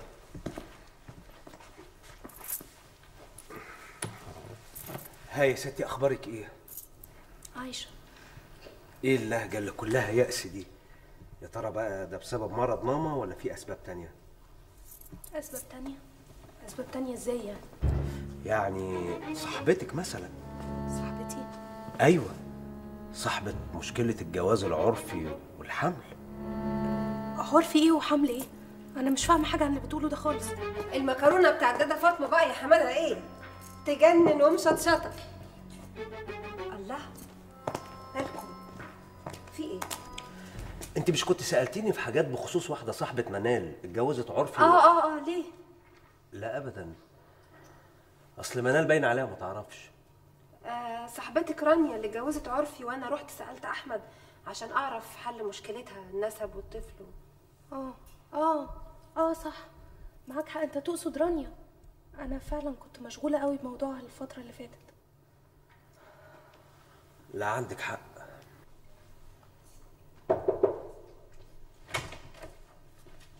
السلام عليكم. السلام ورحمة الله وبركاته. اتأخرت ليه يا نبيلة؟ فاطمة نامت على روحها. دادا دادا فاطمة. مالك يا ست الستار الله عليكي ما تتخضيش يا نبيلة. معلش يا دادا أنا آسفة. روحي انتي نامي يلا. معلش أنا اتاخرت عليكي. لا خ- خلوني قاعدة معاكم هنا. يمكن تعوزوا حاجة لا أنا قاعدة مع ماما. روحي انت عشان تقعدي مع منال حاضر. ما تأمرنيش بشيء يا ست الكل. ربنا يخليك يا فاطمة ما تحرمش منك. ربنا يخليكي السلام عليكم. وعليكم السلام يا مع السلامة. انت فين يا نبيلة؟ أنا نفسي بس تريحي روحك. وما تشغليش نفسك بحاجة خالص. طب طمنيني بس قولي لي كنت فين؟ يعني انت مصممة؟ حاضر يا ستي.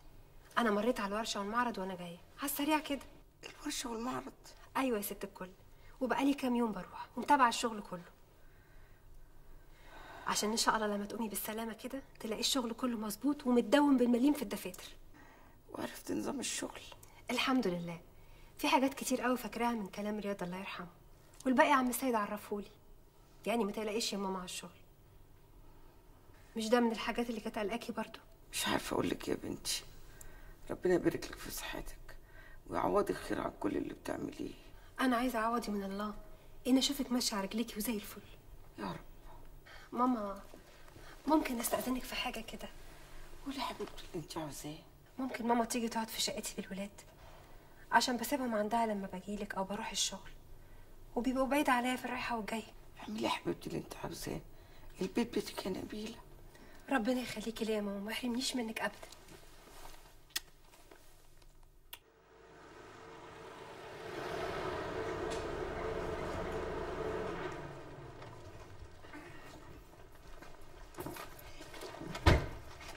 إيه ده؟ إيه اللي جابك هنا؟ هو إيه اللي جابني هنا يعني إيه؟ دي مش مراتي ولا إيه؟ مراتك؟ ماشي بس مفيش حد يعرف ليه؟ هو باباك يوسف باشا ما قالكيش إن كلها كام يوم يعني ونروح المأذون نكتب كتابنا؟ وتبقي مراتي بجد بقى. ساعتها الناس اللي أنت خايفة منهم دول كلهم هيعرفوا إن أنا جوزك. جوزي بس ما تعيش الدور قوي كده. دي حاجة مؤقتة. نعم. يعني إيه بقى؟ يعني أنت كنت قاعدة تضغطي عليا طول الفترة اللي فاتت دي وتعملي لي أفلام عشان أجي جري وأتجوزك رسمي. وأنت من جواكي مش طايقاني ولا إيه يعني؟ بقول لك إيه؟ خلص عايز إيه دلوقتي. ما أنا جاي أفرحك. جاي أبشرك. جاي أقول لك إن خلاص كلها يومين بالكتير يعني ونروح نكتب كتابنا عند المأذون. يوم الخميس الجاي. قلت أجي أقول لك عشان تظبطي نفسك. وتجهزي. أجهز. أجهز فين إن شاء الله. اسمع لو ما قلتش أنت عايز إيه دلوقتي حالا أنا هطلع وأسيبك. إيه ده بقى؟ يعني إيه الكلام ده؟ طب إيه رأيك بقى إن أنا هطلع وراكي؟ هصرخ والم عليك ام لا إله إلا الله. ده غير طبعا اللي هيجرى لك فوق. أنت فاكرني إيه عايشة لوحدي؟ وبعدين تطلع ورايا ليه؟ إيه يا منال؟ أنا بحبك. بحبك قوي يا منال الحقيقة مش قادر يعني مش قادر أعيش لحظة واحدة من غيرك. يا سلام. خطة جديدة دي مع سي عادل؟ كده برضو. ماشي. كلها يومين ثلاثة بالكتير نروح للمأذون ونتجوز رسمي وتبقي مراتي. تعرفي قد إيه أنا بحبك؟ ما أقدرش لحظة أستغنى عنك. أه، صحيح ال- ورقة الجواز العرفي اللي معاكي. لسه معاكي؟ آه طبعا. ليه؟ لا. بطمن بس يعني. أصل بصراحة يعني محتاج مبلغ كده يعني. أنت عارفة بقى جواز وكلام كبير يعني محتاج أجيب يعني قميص حلو كده شيك عشان ابقى شكلي كويس وإحنا بنتجوز يعني. يعني جاي تاخد مني فلوسي. ماشي.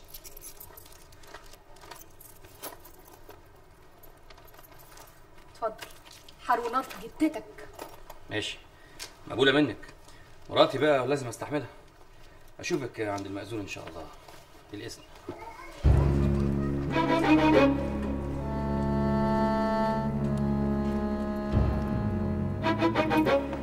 منال. أحمد إيه في إيه؟ مين اللي كان بيكلمك قدام البيت دلوقتي؟ وده يهمك في إيه؟ يهمني في إيه؟ يهمني لأنك بنت حتتي ولانك اخت رياض وحسام ولأنك بنت الأستاذ يوسف. عرفتي يهمني ليه؟ ده واحد زميلي في الجامعة. لا ده مش زميلك. إيه ده؟ يعني هيكون مين يعني؟ ده الشاب اللي شفتك معاه في العربية من كام شهر صح؟ لا متهيألك. لا يا منال مش متهيألي وانت عارفة كده كويس. يا منال أنا مش بطفل عليكي أنا بس لمحت طريقة كلامك ما فيهاش أي نوع من الرضا معاه. ارجوكي صرحيني لو أنت اتورطتي معاه في أي حاجة أو هو ماسك عليكي حاجة أو بيهددك بأي حاجة. صرحيني وتأكدي إن محدش هيقدر يساعدك غيري. اولا لأني محامي وأعرف إزاي ألعبه على الشناكل.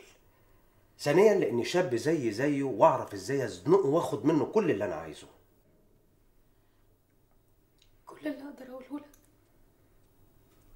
قول يا منال. قولي ما تخافيش. كل اللي أقدر أقوله لك إن في خطوة المفروض تتم يوم الخميس. لو تمت أكيد هتعرف. لو ما تمتش أوعدك إني هبقى ألجأ لك وأحكي لك على كل حاجة. أعتبر ده وعد وعد يا أحمد. بس يا ستي إن شاء الله أول ما هوصل هبقى أبعت لكم واطمنكم عليا. طب إحنا هنطمن عليك إزاي؟ ما هو صاحبي بقى اللي هيجي لكم عشان يجيب لكم الفلوس أكيد هيبقى يطمنكم عليا يعني. وهنشوفك كل قد إيه يا ابني. والله بقى يا حاج آه، أول أجازة تبقى صعبة شوية. يعني ممكن أتأخر عليكم وربنا يسهل بقى. طب يا ابني ما أنت كنت قاعد هنا في بلدك ومستورة والحمد لله. إيه خليك بس تتغرب وتروح بلد تانية؟ يا حاجة يا حاج ده ما فيش شاب في مصر ما بيتمناش يسافر بره عشان يشتغل. وأنت عايزين اقعد هنا؟ معقول يعني؟ الأعمار بيد الله يا ابني. وأنا زي ما أنت شايف رجل بره ورجل جوه. وأختك المسكينة دي مين هيراعيها لو جرالي حاجة؟ يا ماما ما تقوليش كده. ربنا يديك الصحة يا رب. ده أنت البركة يا جميل. صحيح أنا مش براعيها في حاجة. هي اللي بتراعيني وشايلاني. بس هحس معاها برضه. ربنا يخليك لينا ويشفيك يا رب. إن شاء الله هتجوزيها وتربي ولادها كمان. ياه ولادها. آه طبعا ولادها. يا جميل أنت لسه في عز شبابك وصغير وجميل وقمر كده. والله هتوحشنا يا باسم. البيت هيبقى فاضي قوي من غيرك. إن شاء الله بقى لما أبعت لكم الفلوس البيت هيبقى مليان. أو بقى حاجة تدهني البيت كده وتجيبي انتريه جديد وتتعالجي في أحسن مستشفيات إن شاء الله. وتجهزي الهانم دي أحسن جهاز. ربنا يرزقك يا ابني برزقنا. بحق جاه النبي يا رب. يا رب إن شاء الله. اسمعي يا حاج. خدي الفلوس دي اصرفي منهم لغاية ما ابعت لكم فلوس إن شاء الله. ياخد عدوينك يا حبيبي. صحيح يا باسم. أنت ما قلتش مسافر فين؟ السعودية. اشمعنى السعودية يعني؟ يا عم عادل. أهو أي اسم جه على بالي وخلاص. وأنا هنقي يعني. والله يا باسم أنا متضايق قوي من الموضوع ده. حاسس إن أنا اللي أذيت منال الأذية دي كلها. يا راجل ما تقولش كده. لعلمك أنا كنت هخلص الموضوع ده أوام أوام لكن دخول ابوها بقى في الحكاية هو اللي بوظها خالص. تخيل يا عادل طالبين مني مهر وشبكة بمبلغ كبير جدا عشان أكتب الكتاب. لا وإيه بقى؟ عايزين نطلق بعد شهر وأدفع المؤخر والنفقة كمان. يرضيك يا عادل؟ يرضيك كده؟ أجيب منين بس يا اخويا ما هو ده اللي خلاني وافقت على كذبة سفرك بره دي. لولا كده والله أنا كنت هقف قصادك وما خلاكش تتخلى عنها ابدا بالشكل ده. يا راجل دي عيلة صعبة قوي بيضغطوا عليا قوي يا جدع. المهم دلوقتي أنا لازم أسافر البحر الأحمر. لازم أشتغل هناك. لازم أشتغل هناك ليل ونهار. أموت نفسي في الشغل. إن شاء الله حتى أشتغل 30 شغلانة ببعض. عشان أبعت لأمي مبلغ محترم كده. يخليها تصدق إن أنا سافرت السعودية بجد. يا ابني ما كنت قلت لأمك على الحقيقة. ووصيتها هي وهدى. ما يقولوش لحد. يا سلام يا اخويا أقول له اني اتجوزت وحماية بيدور عليا. آه، لا مش قصدي كده يعني. قصدي بلاش موضوع سفرك بره ده. قول لها مثلا إن أنت عليك ديون ولو حد سأل عليك قولوا له إن أنا مسافر بره. يو يا عادل. أنت عارف أمي يا أخي؟ هتقعد بقى تسألني. ديون إيه يا ابني؟ والمين؟ وعشان إيه؟ وتعمل كده في روحك ليه يا ابني؟ وما تنامش الليل بقى وتبقى حالتها حالة. على إيه ده كله؟ لا إذا كان كده بقى يبقى عندك حق. بس افرض ابو منال جه لامك وقال على كل حاجة. والله بقى أنا ناوي اعمل حاجة كده وربنا يسهل وتجيب نتيجة. حاجة. حاجة إيه؟ مين هيجي لنا دلوقتي؟ غريبة.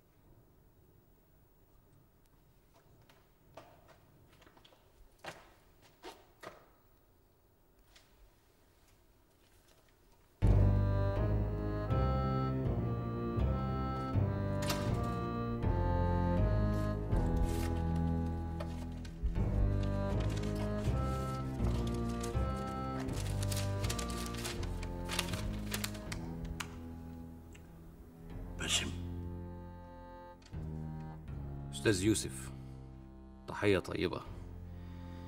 أحب أقول لك إن أنا سافرت للسعودية عشان أشتغل هناك. ولما أرجع هبقى أكتب كتابي على منال. وسلمنا عليها كتير قوي. بس أنا ليا طلب عندك. أوعى تجيب سيرة لوالدتي عن الموضوع اللي بينا وإلا بقى هحملك المسؤولية كاملة لو حصل لها أي تدهور في صحتها. لأني مسافر وسايب حالتها متأخرة قوي. والدكتور منع عنها أي انفعال. فإذا قلت لها أي حاجة هتموتها وبرضه مش هتستفيد حاجة لأنها مفيش بإيديها أي حاجة. وسلام المنال. سلام. في إيه يا يوسف؟ مين اللي جه؟ لا ما فيش حد. مفيش مفيش حد إزاي؟ فتحت الباب ما لقيتش حد. طب مالك متوتر وعصبي كده؟ ما فيش يا ماجدة ما خش انت نامي دلوقتي. يوسف انت بقالك عالمك الخاص ومش عايز تشاركني فيه. وأنا سايباك براحتك بس مش هقدر أستنى كده كتير.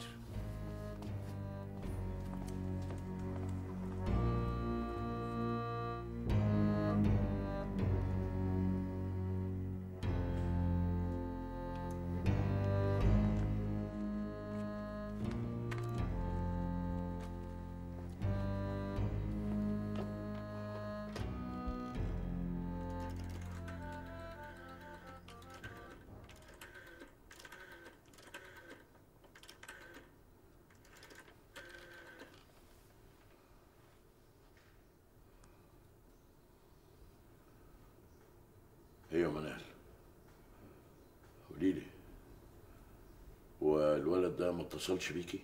لا يا بابا ما اتصلش. بس هو جالي قدام البيت وخد مني فلوس عشان مصاريف التوثيق. فلوس؟ إزاي تديله فلوس؟ تجننتي؟ ما هو قال لي هيدفعهم في الشهر العقاري.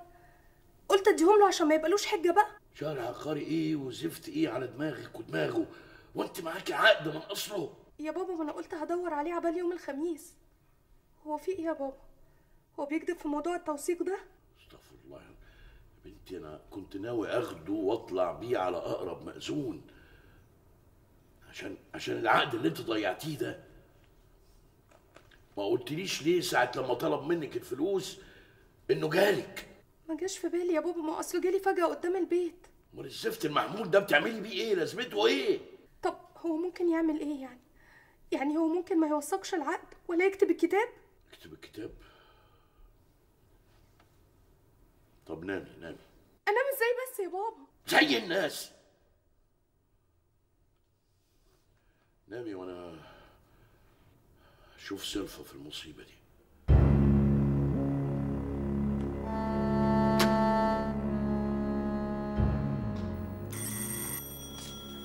أيوه حاضر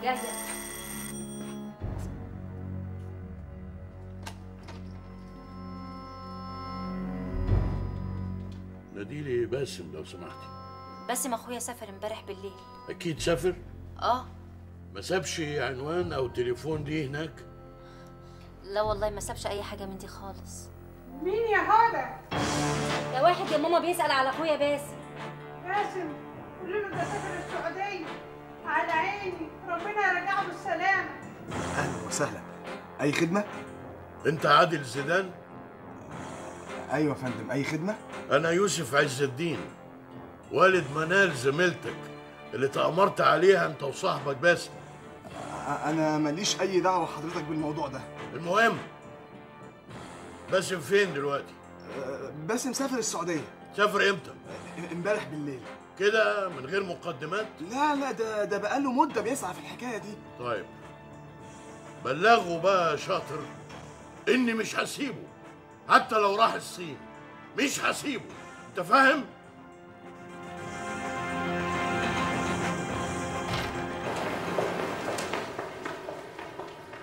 دكتور. نعم. لو سمحت كنت عايزة أطمن على حالة ماما سوريا الحمد لله. مفيش شك إنها اتحسنت أكتر من الأول.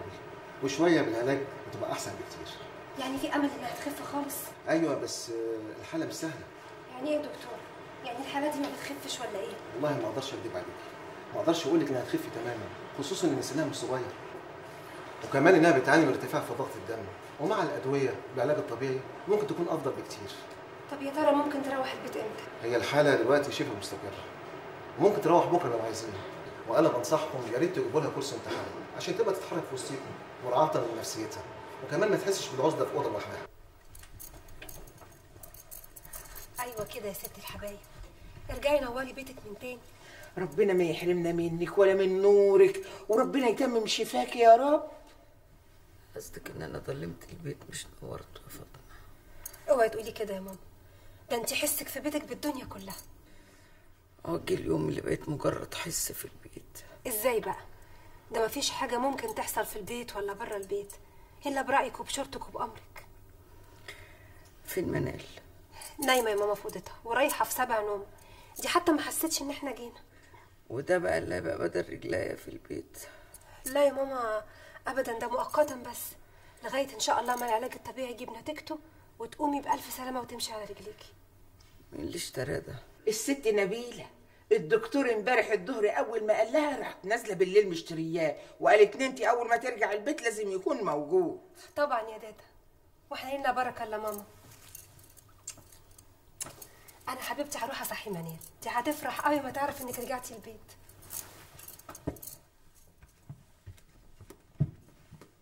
بنت حلال يا فاطمة وأصيلة. أو النبي يا ست سرية. دي سادة بره وجوه. دي مسكينة ما بتنامش. من المستشفى للورشة للمعرض للبيت. بصراحة أصيلة ومليون أصيلة. ربنا يعوضها خير يا رب. يا رب ويقومك بالسلامة. امال الأولاد فين يا فاطمه مع أم أحمد في شقة سريات. تعرفي كل ما بشوف نبيله بتعمل كده بتعب أكتر. ليه بس؟ ليه كفل الشر؟ ده بدل يا أختي ما تفرحي وتطمني وتحط في بطنك كده بطيخه صيفي. ان ربنا وجد لك حد كده يقف وراكي ويقوم يا حبيبتي باللي انت مش قادرة تقومي بيه؟ ما هو ده اللي بيتعبني وبقعد ألوم نفسي على اللي كنت بعمله فيها. رياض نور عيني كان عنده حق. إني احبها ويدافع عنها ماما ماما يا حبيبتي وحشتيني وحشتيني قوي يا ماما. وحشتيني قوي قوي أيوه يا عم حبيت أقول لحضرتك بس إنها جت. أحسن بعدين تروح المستشفى ما تلاقيناش تتخض علينا. آه الحمد لله. الدكتور قال إن الحالة هتتحسن مع الوقت. وازاي قبل ماجده الحمد لله. اهم يا عمي قاعدين مع ماما. لا كويسين. حاضر. حاضر من عينيا. مع السلامة. نبيلة انتي هنا؟ انت سايبة ماما وقاعدة هنا ليه؟ في إيه يا حبيبتي؟ كنت بكلم عمي يوسف. بابا قال لك حاجة بخصوص ميعاد النهاردة؟ ميعاد؟ ميعاد إيه؟ ما هو ما هو باسم اتفق مع بابا إننا نحل المشكلة النهاردة. يا إما نكتب الكتاب يا إما نوثق العقد كتب كتاب غريبة. عم يوسف ما جابليش سيرة خالص عن موضوع كتب الكتاب ده. معقولة؟ إزاي؟ طب أنا هتصل بيه. لا بقول لك إيه كلمي من اوضتك عشان ماما تحس بعدين. وأنا هقوم أطمن على الولاد ها؟ حاضر.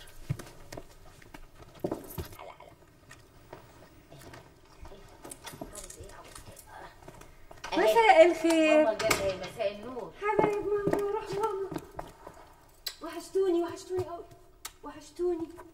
رياض ازيك يا حبيبي ازيك يا ماما؟ أهلا حبيبتي. ازيك انت الحمد لله.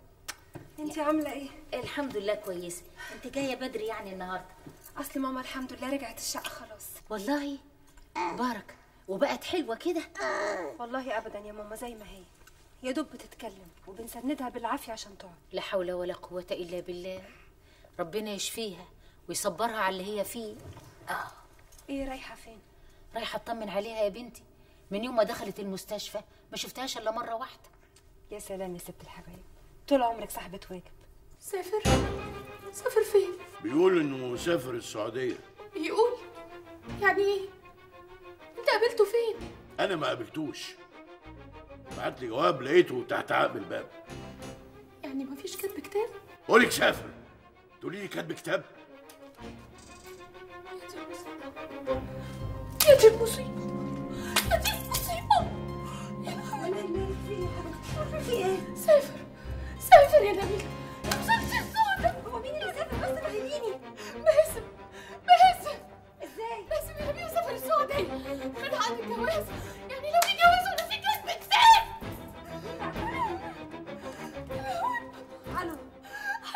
مين معايا؟ أيوه يا عمي. أنت اللي قلت لمدام الكلام ده. طب اقفل دلوقتي. اقفل أنا هعديها وهكلمك على طول. طيب.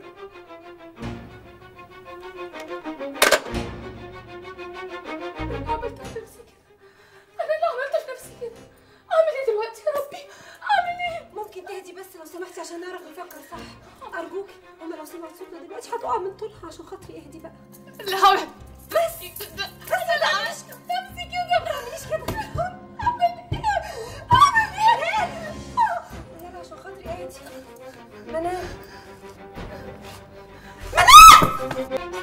إيه إيه كتر خيركم على كل بتعملوه معايا دادا دادا الله يخليكي تعالي ارفعي معايا الترابيزه ترابيزه إيه يا بنتي آه السفره سفرة إيه يا ست نبيلة؟ أنا مالك في إيه؟ ولا حاجة يا دادا اصل في فار نزل تحت الترابيزة وانتي عارفة يا ماما أنا بخاف من الفئران أيوه يا حبيبتي انت بتخافي منهم قوي. أجي أنا أرفعها معاكي. لا خليكي انت أنا هاخد دادا خليك انت مرتاحة أنا هروح معاه تعالي يا دادا تعالي بسرعة. مش عارفة مش عارفه أعمل إيه دادا مش عارفة قوي دي ساعة هنعمل إيه؟ هكلم عبد العزيز يتصرف أنا مش عارفة أعمل حاجة.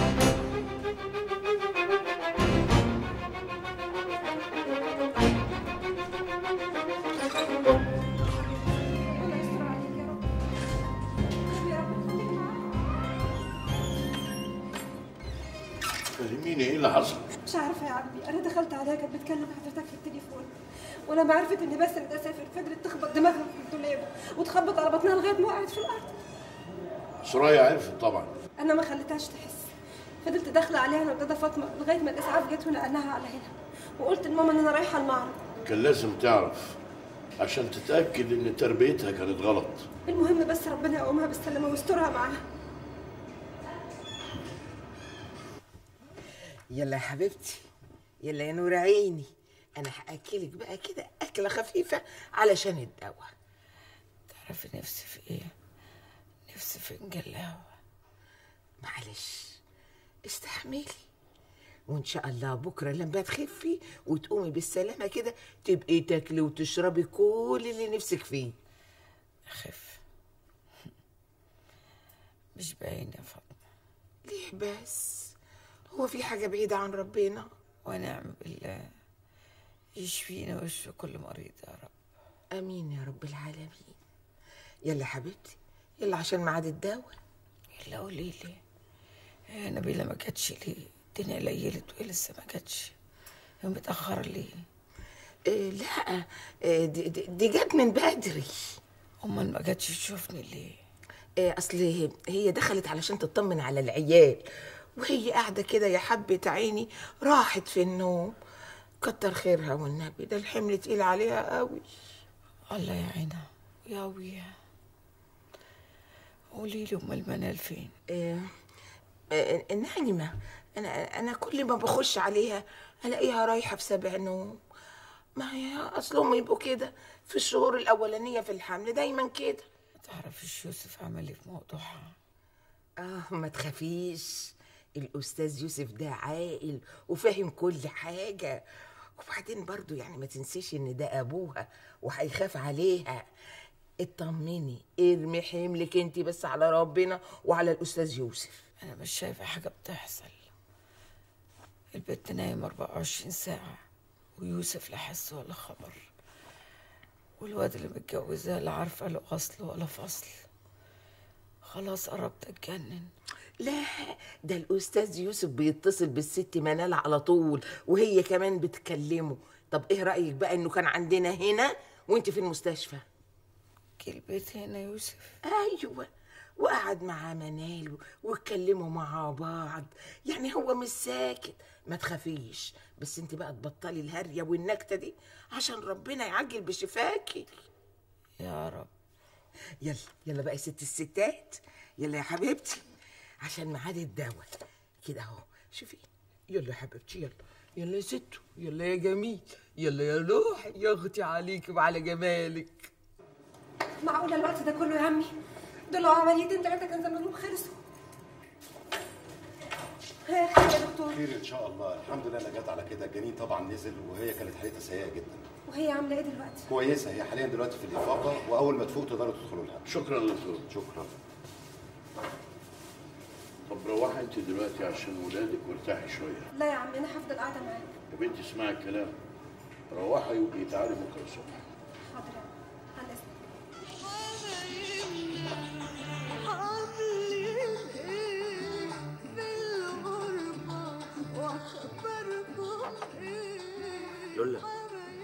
شاي؟ خليك يا حبيبي أنا هقوم أعمل. لا لا لا خليك خليك. أنا مش بسألك علشان تعملي لي أنا بسألك عشان أشوفك هتشربي معايا ولا لأ. والله يا حبيبي أنا عارفة. بس برضه اقعد أنت كمل مذاكرة وأنا هعمل لك كوباية شاي ما حصلتش. بس لو ما كنتيش تحلفي تسلم ايديك يا حبيبتي. بصي بقى أنا هتصل بمصر عبال ما أنت تعملي الشاي. يا رب بقى ماما تكون موجودة دلوقتي. إن شاء الله يا حبيبي. أكيد المره دي هتعرف تكلمها والله يا سلوى أنا هتجنن. بقالي أسبوع مش عارف أوصل لها. أتصل بيها في البيت يقولوا لي في الورشة. أتصل في الورشة يقولوا لي في المعرض. أتصل في المعرض يقولوا لي لسه ماشية حالا. وموبايلها على طول مقفول. أنا مش فاهم إيه الحكاية. تكونش مثلا زعلانة إن أنا اتجوزت؟ طب ما تتصل دلوقتي. أنا متأكدة إنك لو اتصلت دلوقتي هتعرف تكلمها اتصل كده وشوف. لو ما عرفتش أبقى أنا ما بفهمش حاجة. بركاتك يا شيخة سلوى.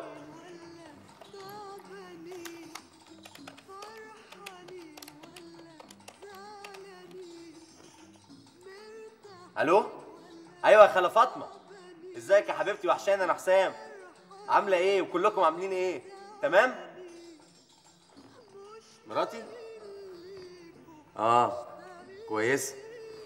لا بقى دي قمر. هتعجبك قوي لما تشوفيها. لا يا ستي مش خواجاي. دي مصرية ومية مية كمان. بقول لك إيه يا خالد ماما رجعت؟ إيه اللي منين؟ من الشغل طبعا. انت مالك اتخضيتي كده ليه؟ رجعت؟ يا مالكة طب اداني بسرعة والنبي عايز أكلمها هموت وأسمع صوتها. ألو؟ أيوه يا أمي. إزيك يا حبيبتي؟ عاملة إيه؟ وحشاني يا ست الحبايب. ده أنا كنت هتجنن عشان أسمع صوتك وأنت كمان وحشتني يا ضنايا عامل إيه يا حبيبي؟ أنا كويس يا حبيبتي. كويس قوي المهم انت يا حبيبتي صحتك عاملة إيه؟ نحمد ربنا. ربنا يديني الصحة كده بس. استنى وأشوفك. مالك يا أمي؟ في إيه؟ أنت بتعيطي؟ بعيط لا يا حبيبي بس كان وحشني صوتك كان نفسي أسمعه. قول لي إزاي مراتك؟ لا كويسة يا أمي. بتسلم عليكي كتير. سلم لي عليها. ليه يا حبيبي كده اتجوزت على نبيلة وكسرت بخاطرها؟ دي بنت غلبانة وطيبة وحمالة أسية معقولة يا أمي أنت اللي بتقولي الكلام ده؟ أنا مش مصدق وداني. لا يا ابني أنا عرفت قيمتها. يلا كل شيء راح لحاله. المهم يبقى كلمني وطمني عليك يا حبيبي. حاضر يا أمي حاضر. أنت بس خلي بالك من نفسك ومن نبيلة ومنال وولاد رياض يا أمي. بالسلامة يا روحي. خلي بالك من نفسك يا حبيبتي. لا إله إلا الله.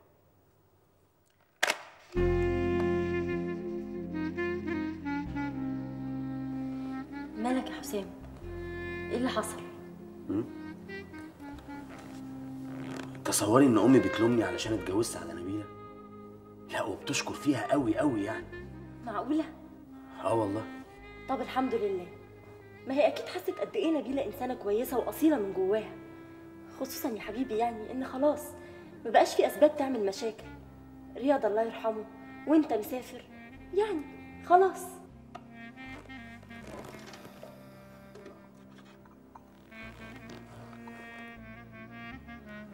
جايز.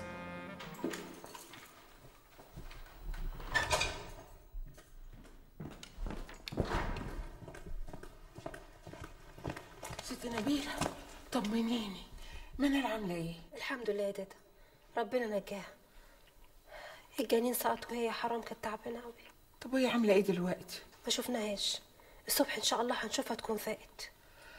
ربنا يجيب العواقب سليمة يا رب. رايحة فين؟ تعالي. رايحة أشوف ماما اطمن عليها. لا لا. ده انت لما اتأخرتي سألت عليكي أنا قلت لها إن انت جيتي وإن انت مع العيال. آه. طيب يا دادا أنا هروح شقتي غير هدومي وهاجي لها. وهقول لها إني لسه صاحية من النوم. طب لو سألتك عن منال هتقولي لها إيه؟ أنا ما عرفتش أقول لها حاجة. كل اللي قلته لها إن الوحم جاي لها بالنوم. عشان كده نايمة على طول. كويس قوي إنك قلت لها كده. لغاية بقى ما نشوف حل الحكاية دي. يا أستاذ يوسف أصل هو لو ما اتصلش بيا أنا مش هعرف أتصل بيه. حاضر. حاضر. هبلغه أول ما يتصل بيا. الله يخرب بيتك يا باسم. أنا كان بس إيه اللي ورطني التوريطة المهببة دي؟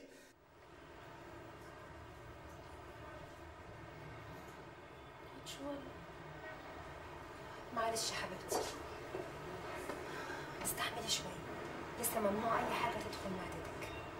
استحمل إيه ولا إيه بقى يا جميلة. استحمل الوجع اللي فيا ده ولا الهبوط اللي حاسة بيه. العطش ولا إيه ده حرام. حرام. تحمدي ربنا انها جت على قد كده. اللي حصل لك ده كرم من ربنا. صح يا عمي عندك حق.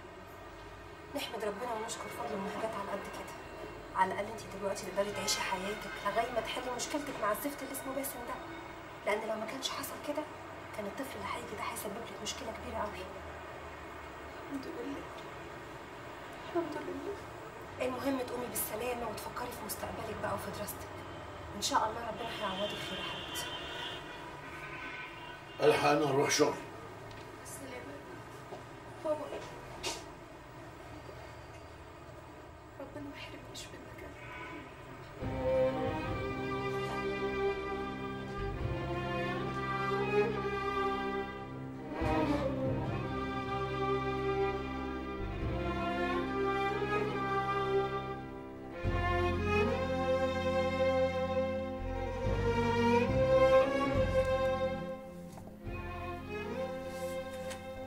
مساء الفل على ست الحبايب.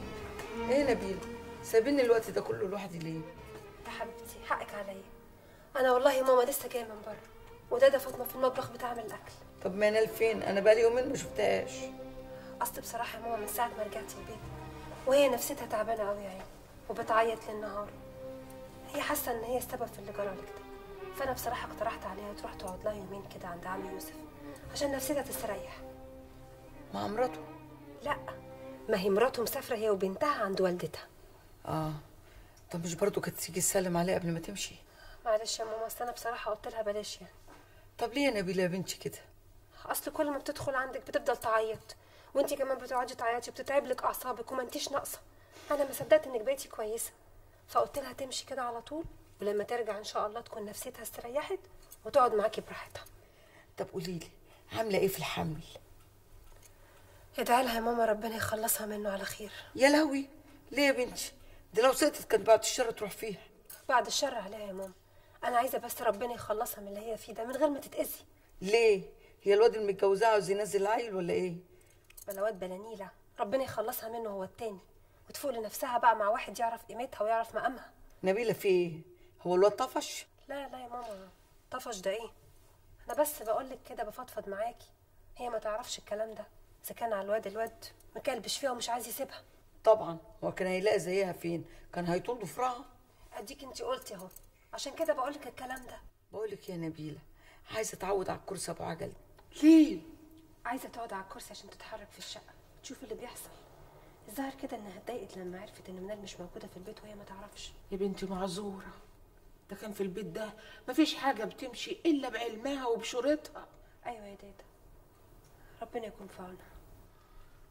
يلا يلا بقى عشان نروح نقعد على الكرسي. حاضر بس هخلص اللي في إيدي وأجيلكوا يا ستي يلا أرجوكي أحسن تزعل مننا بعدين. دي بقت بتاخد كل حاجة بحساسية قوي يا دادا. حاضر يا حبيبتي. ربنا يشفيها ويزيح عنها يا رب. يلا يا حبيبتي. يلا يا دادا.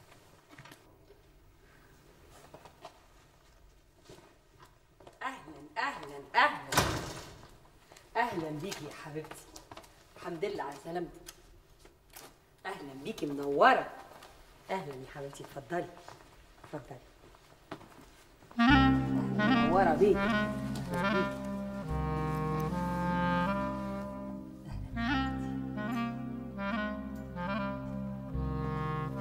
مستريحة كده ولا تحبي تخشي أوضتك؟ أوضتي. أوضة سلوى هي أوضتك والبيت بيتك. طب وسلوى؟ سلوى؟ أه، سلوى مسافرة عند جدتها هتاخدي راحتك خالص. طب هي مش هتتضايق لو جت لقيتني بنام في أوضتها؟ تتضايق؟ يا خبر أبيض. البيت بيتك يا حبيبتي وإحنا هنا ضيوفك. ما عدا بابا طبعا. مش كده ولا إيه؟ طبعا. بس أنا ما كنتش عايزة أعمل لكم مشاكل مع سلوى. انت أكيد ما تعرفيش سلوى كويس. لو تعرفيها ما تقوليش كده. هي هتيجي إمتى من عند جدتها هي ما بتروح هناك بتنسى نفسها خالص. أصل هي بتحب جدتها قوي. يا ريت تيجي بسرعة. المره دي محتاجاها؟ قوي أنا هنا يا حبيبتي معاكي. ولو عايزة أي حاجة أنا هعملها لك. لو عايزة تفتحي قلبك وتحكي لي أي حاجة أنا وبابا مش هنخليكي محتاجة حاجة ابدا. يلا تعالي استريحي في أوضتك شوية عقبال ما احضر لكم الغدا مين؟ أنا صبري يا باسم افتح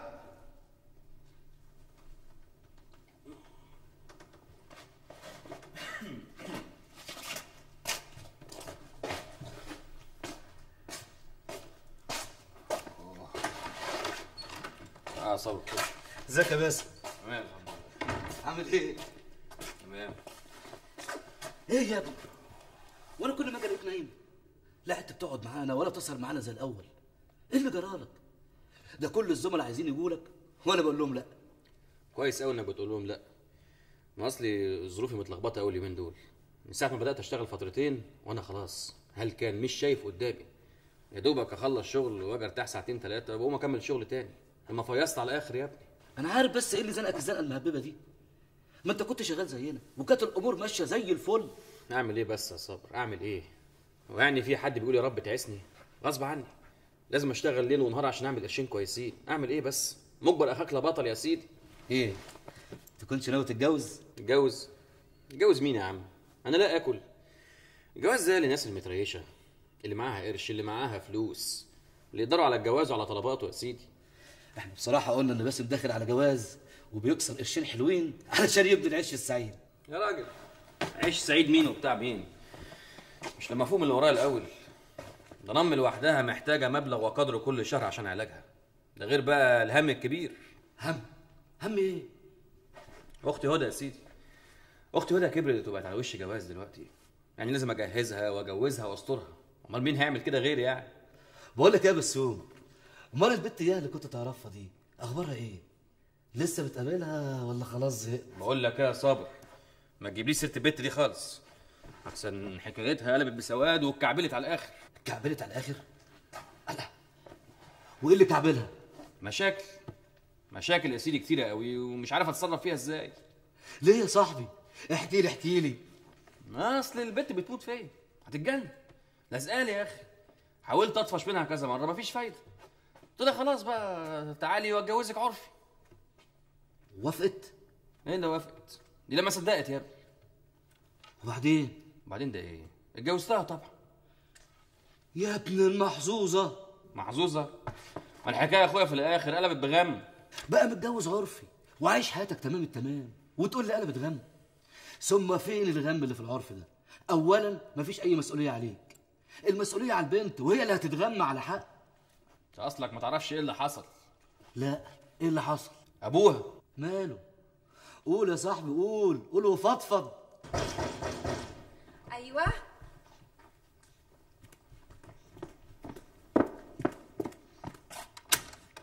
السلام عليكم. يا أهلا يا أحمد اتفضل. ما شاء الله ما شاء الله. رورو وحشني يا حبيبي. اللهم صل على النبي. اللهم صل على النبي ما شاء الله. أمال فين ريهام ورضوى؟ نايمين. أصحيهم لك؟ لا حرام خليهم نايمين. بس بجد كان نفسي أشوفهم عشان وحشوني قوي الخلابيص دول. يا سلام. ما أنت بقالك كتير ما شفتهمش ولا جيت زرتهم حتى. والله العظيم غصب عني. وبعدين أنا بتصل بماما كل يوم مش أقل من ست سبع مرات عشان أطمن عليهم وعليكي. قالت لي والله ربنا يقويك ويعينك يا رب. أنا حتى هسيب الشغل مع الأستاذ ناجي لأن كده بقيت عامل زي الطور اللي في الساقية. لا بعد الشر عليك. طب وهتقول إيه الأستاذ ناجي؟ أنا لمحت له إن القضايا الحمد لله في مكتبي كترت وهو فهم ده. بس زي ما تقولي كده مستني لما أخلص القضايا اللي تحت إيدي في مكتبه. دي الأصول طبعا. مش معقولة يعني هسيبه فجأة كده من غير أي مقدمات وفي قضايا مفتوحة بين إيديا؟ لا مش معقول طبعا. ربنا يكرمك ويوفقك يا رب. هقوم بقى أحضر لك لقمة عشان تاكل. والله ما جعان. هو أنا غريب هتعزم؟ لا غريب ده إيه ده بيتك؟ خلاص لما تجوع قول لي عشان أجهز الأكل نتغدى سوا. خلاص يا ستي هبقى أقول لك. اقعدي أنت بس وريحي نفسك. قولي لي أخبار منال إيه؟ الحمد لله كويسة. قاعدة يومين عند باباها. عملت إيه في موضوع يوم الخميس؟ يوم الخميس؟ هو أنت عارف؟ أيوه. مين اللي قالك؟ هي منال نفسها. معقولة؟ والله العظيم هي اللي قالت لي بنفسها. أنا مصدقاك أنا مش بكدبك بس أنا مستغربة يعني. المهم عملت إيه؟ ولا حاجة. الواد الجبان ده الله يخرب بيته. سافر من غير ما ياخد أي خطوة رسمي. ما وثقش العقد أيوه. شفت الورطة اللي إحنا فيها؟ والمصيبة بقى إن منال كمان ضيعت صورة العقد بتاعتها. يا نهار مش فايت. ده بعد ما جه قدام البيت وخد منها الفلوس؟ إيه ده؟ أنت عارف الحكاية بالتفصيل بقى. المهم وبعدين حصل إيه؟ ولا حاجة قعدت تعيط وتصوت يا عيني لغاية ما وقعت في الأرض والجنين سقط دي لسه خارجة من المستشفى النهارده. آه عشان كده راحت عند الأستاذ يوسف. آه طبعا. وأنت يعني فاكر إن ماما مستحملة حاجة؟ ده كفاية اللي فيها. أتاري منال بقى كانت بتسأل عليك في المستشفى. وأنا مش فاهمة إنها حكي لك كل حاجة. طب يا ترى أقدر أشوفها؟ مش عارفة والله يا عمي هيقول إيه. خلاص أنا هشوف ممكن أقابلها إزاي. وانت إيه بس اللي مخوفك؟ دول رقبتهم في ايديك يا ابني وانت كده في السليم. يعني انت شايف كده؟ طبعا. هم معهمش ورقة تثبت ان انت اتجوزتها. معنى كده ان الورطه للبنت مش ليك انت. انت تقعد زي الباشا وتحط رجل على رجل. أيوه يا أخي بس ممكن يعني يعملوا لي مشاكل وشوشرة. يا ابني انت الراجل. شوشرة إيه في انك اتجوزت؟ ثم دولت ما معهمش دليل على صدق كلامهم. يا صبر افهمني. أنا بتكلم عن الفضيحة يا أخي. ممكن قوي الناس دول يروحوا يفضحوني قدام أمي وأختي في البيت. أمي عيانة. لو سمعت حاجة زي كده ممكن تروح فيها. وبعدين ممكن كمان يفضحوني في الحتة عندنا. وأختي على وش جواز؟ الحكاية زي كده ممكن تأثر عليها وعلى سمعتها يا أخي. طب ما تتجوزها. وحد لاقي جوازه سقع بالشكل ده؟ ده الجواز اليومين دول نادر يا باسم. دي جوازة جاية لك بيضة مقشرة على طبق من فضه وبتقول لك إن البت حلوة وجميلة ومية مية. هي من ناحية حلوة وجميله ما قلناش حاجة. لكن مية مية بقى دي فيها كلام تاني. يعني إيه؟ أصلها بنت صايعة. سايبه يعني. دي حتى ملهاش أهل يسألوا فيها يا راجل. يعني يومين كده واقلب. سفرية خروجة بتاع الكلام ده. لكن بقى لغاية الجواز. واعذرني يا عم صابر وبعدين مش هي دي. مش هي دي البنت اللي أقدر أتجوزها؟ وتحافظ عليا وعلى بيتي يعني. للدرجة دي يا باسم آه طبعا للدرجة دي. لما واحدة تسافر من ورا أهلها. وتتجوز عرفي وتروح شقق. يبقى إيه بقى؟ افرض اتجوزتها حتى. لو خلفت هتربي عيالي إزاي؟ عندك حق. بعدين أتجوز إزاي؟ أقول لأمي إيه؟ أقول لأمي أنا رفضت عريس أختي عشان أتجوز أنا. يا راجل ده أنا كنت أدفن نفسي قبل ما أقول لها الكلام ده. ياه ده أنت وقعت حتة وقعة يا ابني. خلاص كبر دماغك من ناحيته. شيلهم من دماغك خالص. ومطرح ما يحط راسهم يلاقي رجليهم. إحنا الغلط مش عندنا يا باسم. الغلط عند بنتهم السايبة اللي ما عرفوش يربوها المشكلة دلوقتي يا أخويا مش في بنتهم. المشكلة في أبوها. أبوها شكله راجل جامد قوي وشديد كده. تحسه من الناس اللي هم الواصلين واللي ليهم معارف جامدة قوي يعني. ليه؟ هو بيشتغل إيه يعني؟ معرفش. بس أنا يا أخي مرعوب منه. ركبي سايبه يعني هيعمل لك إيه يعني؟ عارف يا صابر أنا غلبان وماليش ظهر. واللي ملوش ظهر بقى بيتضرب على بطنه. بعدين في مصيبة تانية بقى. أمها أمها ست مفترية ومعاها قرش وواصله يعني ممكن تعمل لي مشاكل ومصايب. أنا مش قدها. والحل؟ هو حل واحد مفيش غيره. أختفي. لازم أختفي خالص ما اظهرش قدامهم. لغاية ما أشوف حل في المصيبة دي. أنا مش قدهم يا عم صابر يا نهار أبيض يا باسم. أنت وقعت يا ابني ولا الهوا رماك هوا؟ هو فين يا أخويا الهوا ده؟ أنا في مصيبة يا صابر في مصيبة ومش عارف أخرج منها إزاي. اسمع أنا هفكر لك في فكرة ما تخرش المية وتطلع منها من الموال ده وأنت كسبان قرشين وتمام التمام. فين؟ فين يا عم صابر لا يمني عليها أبوس إيدك.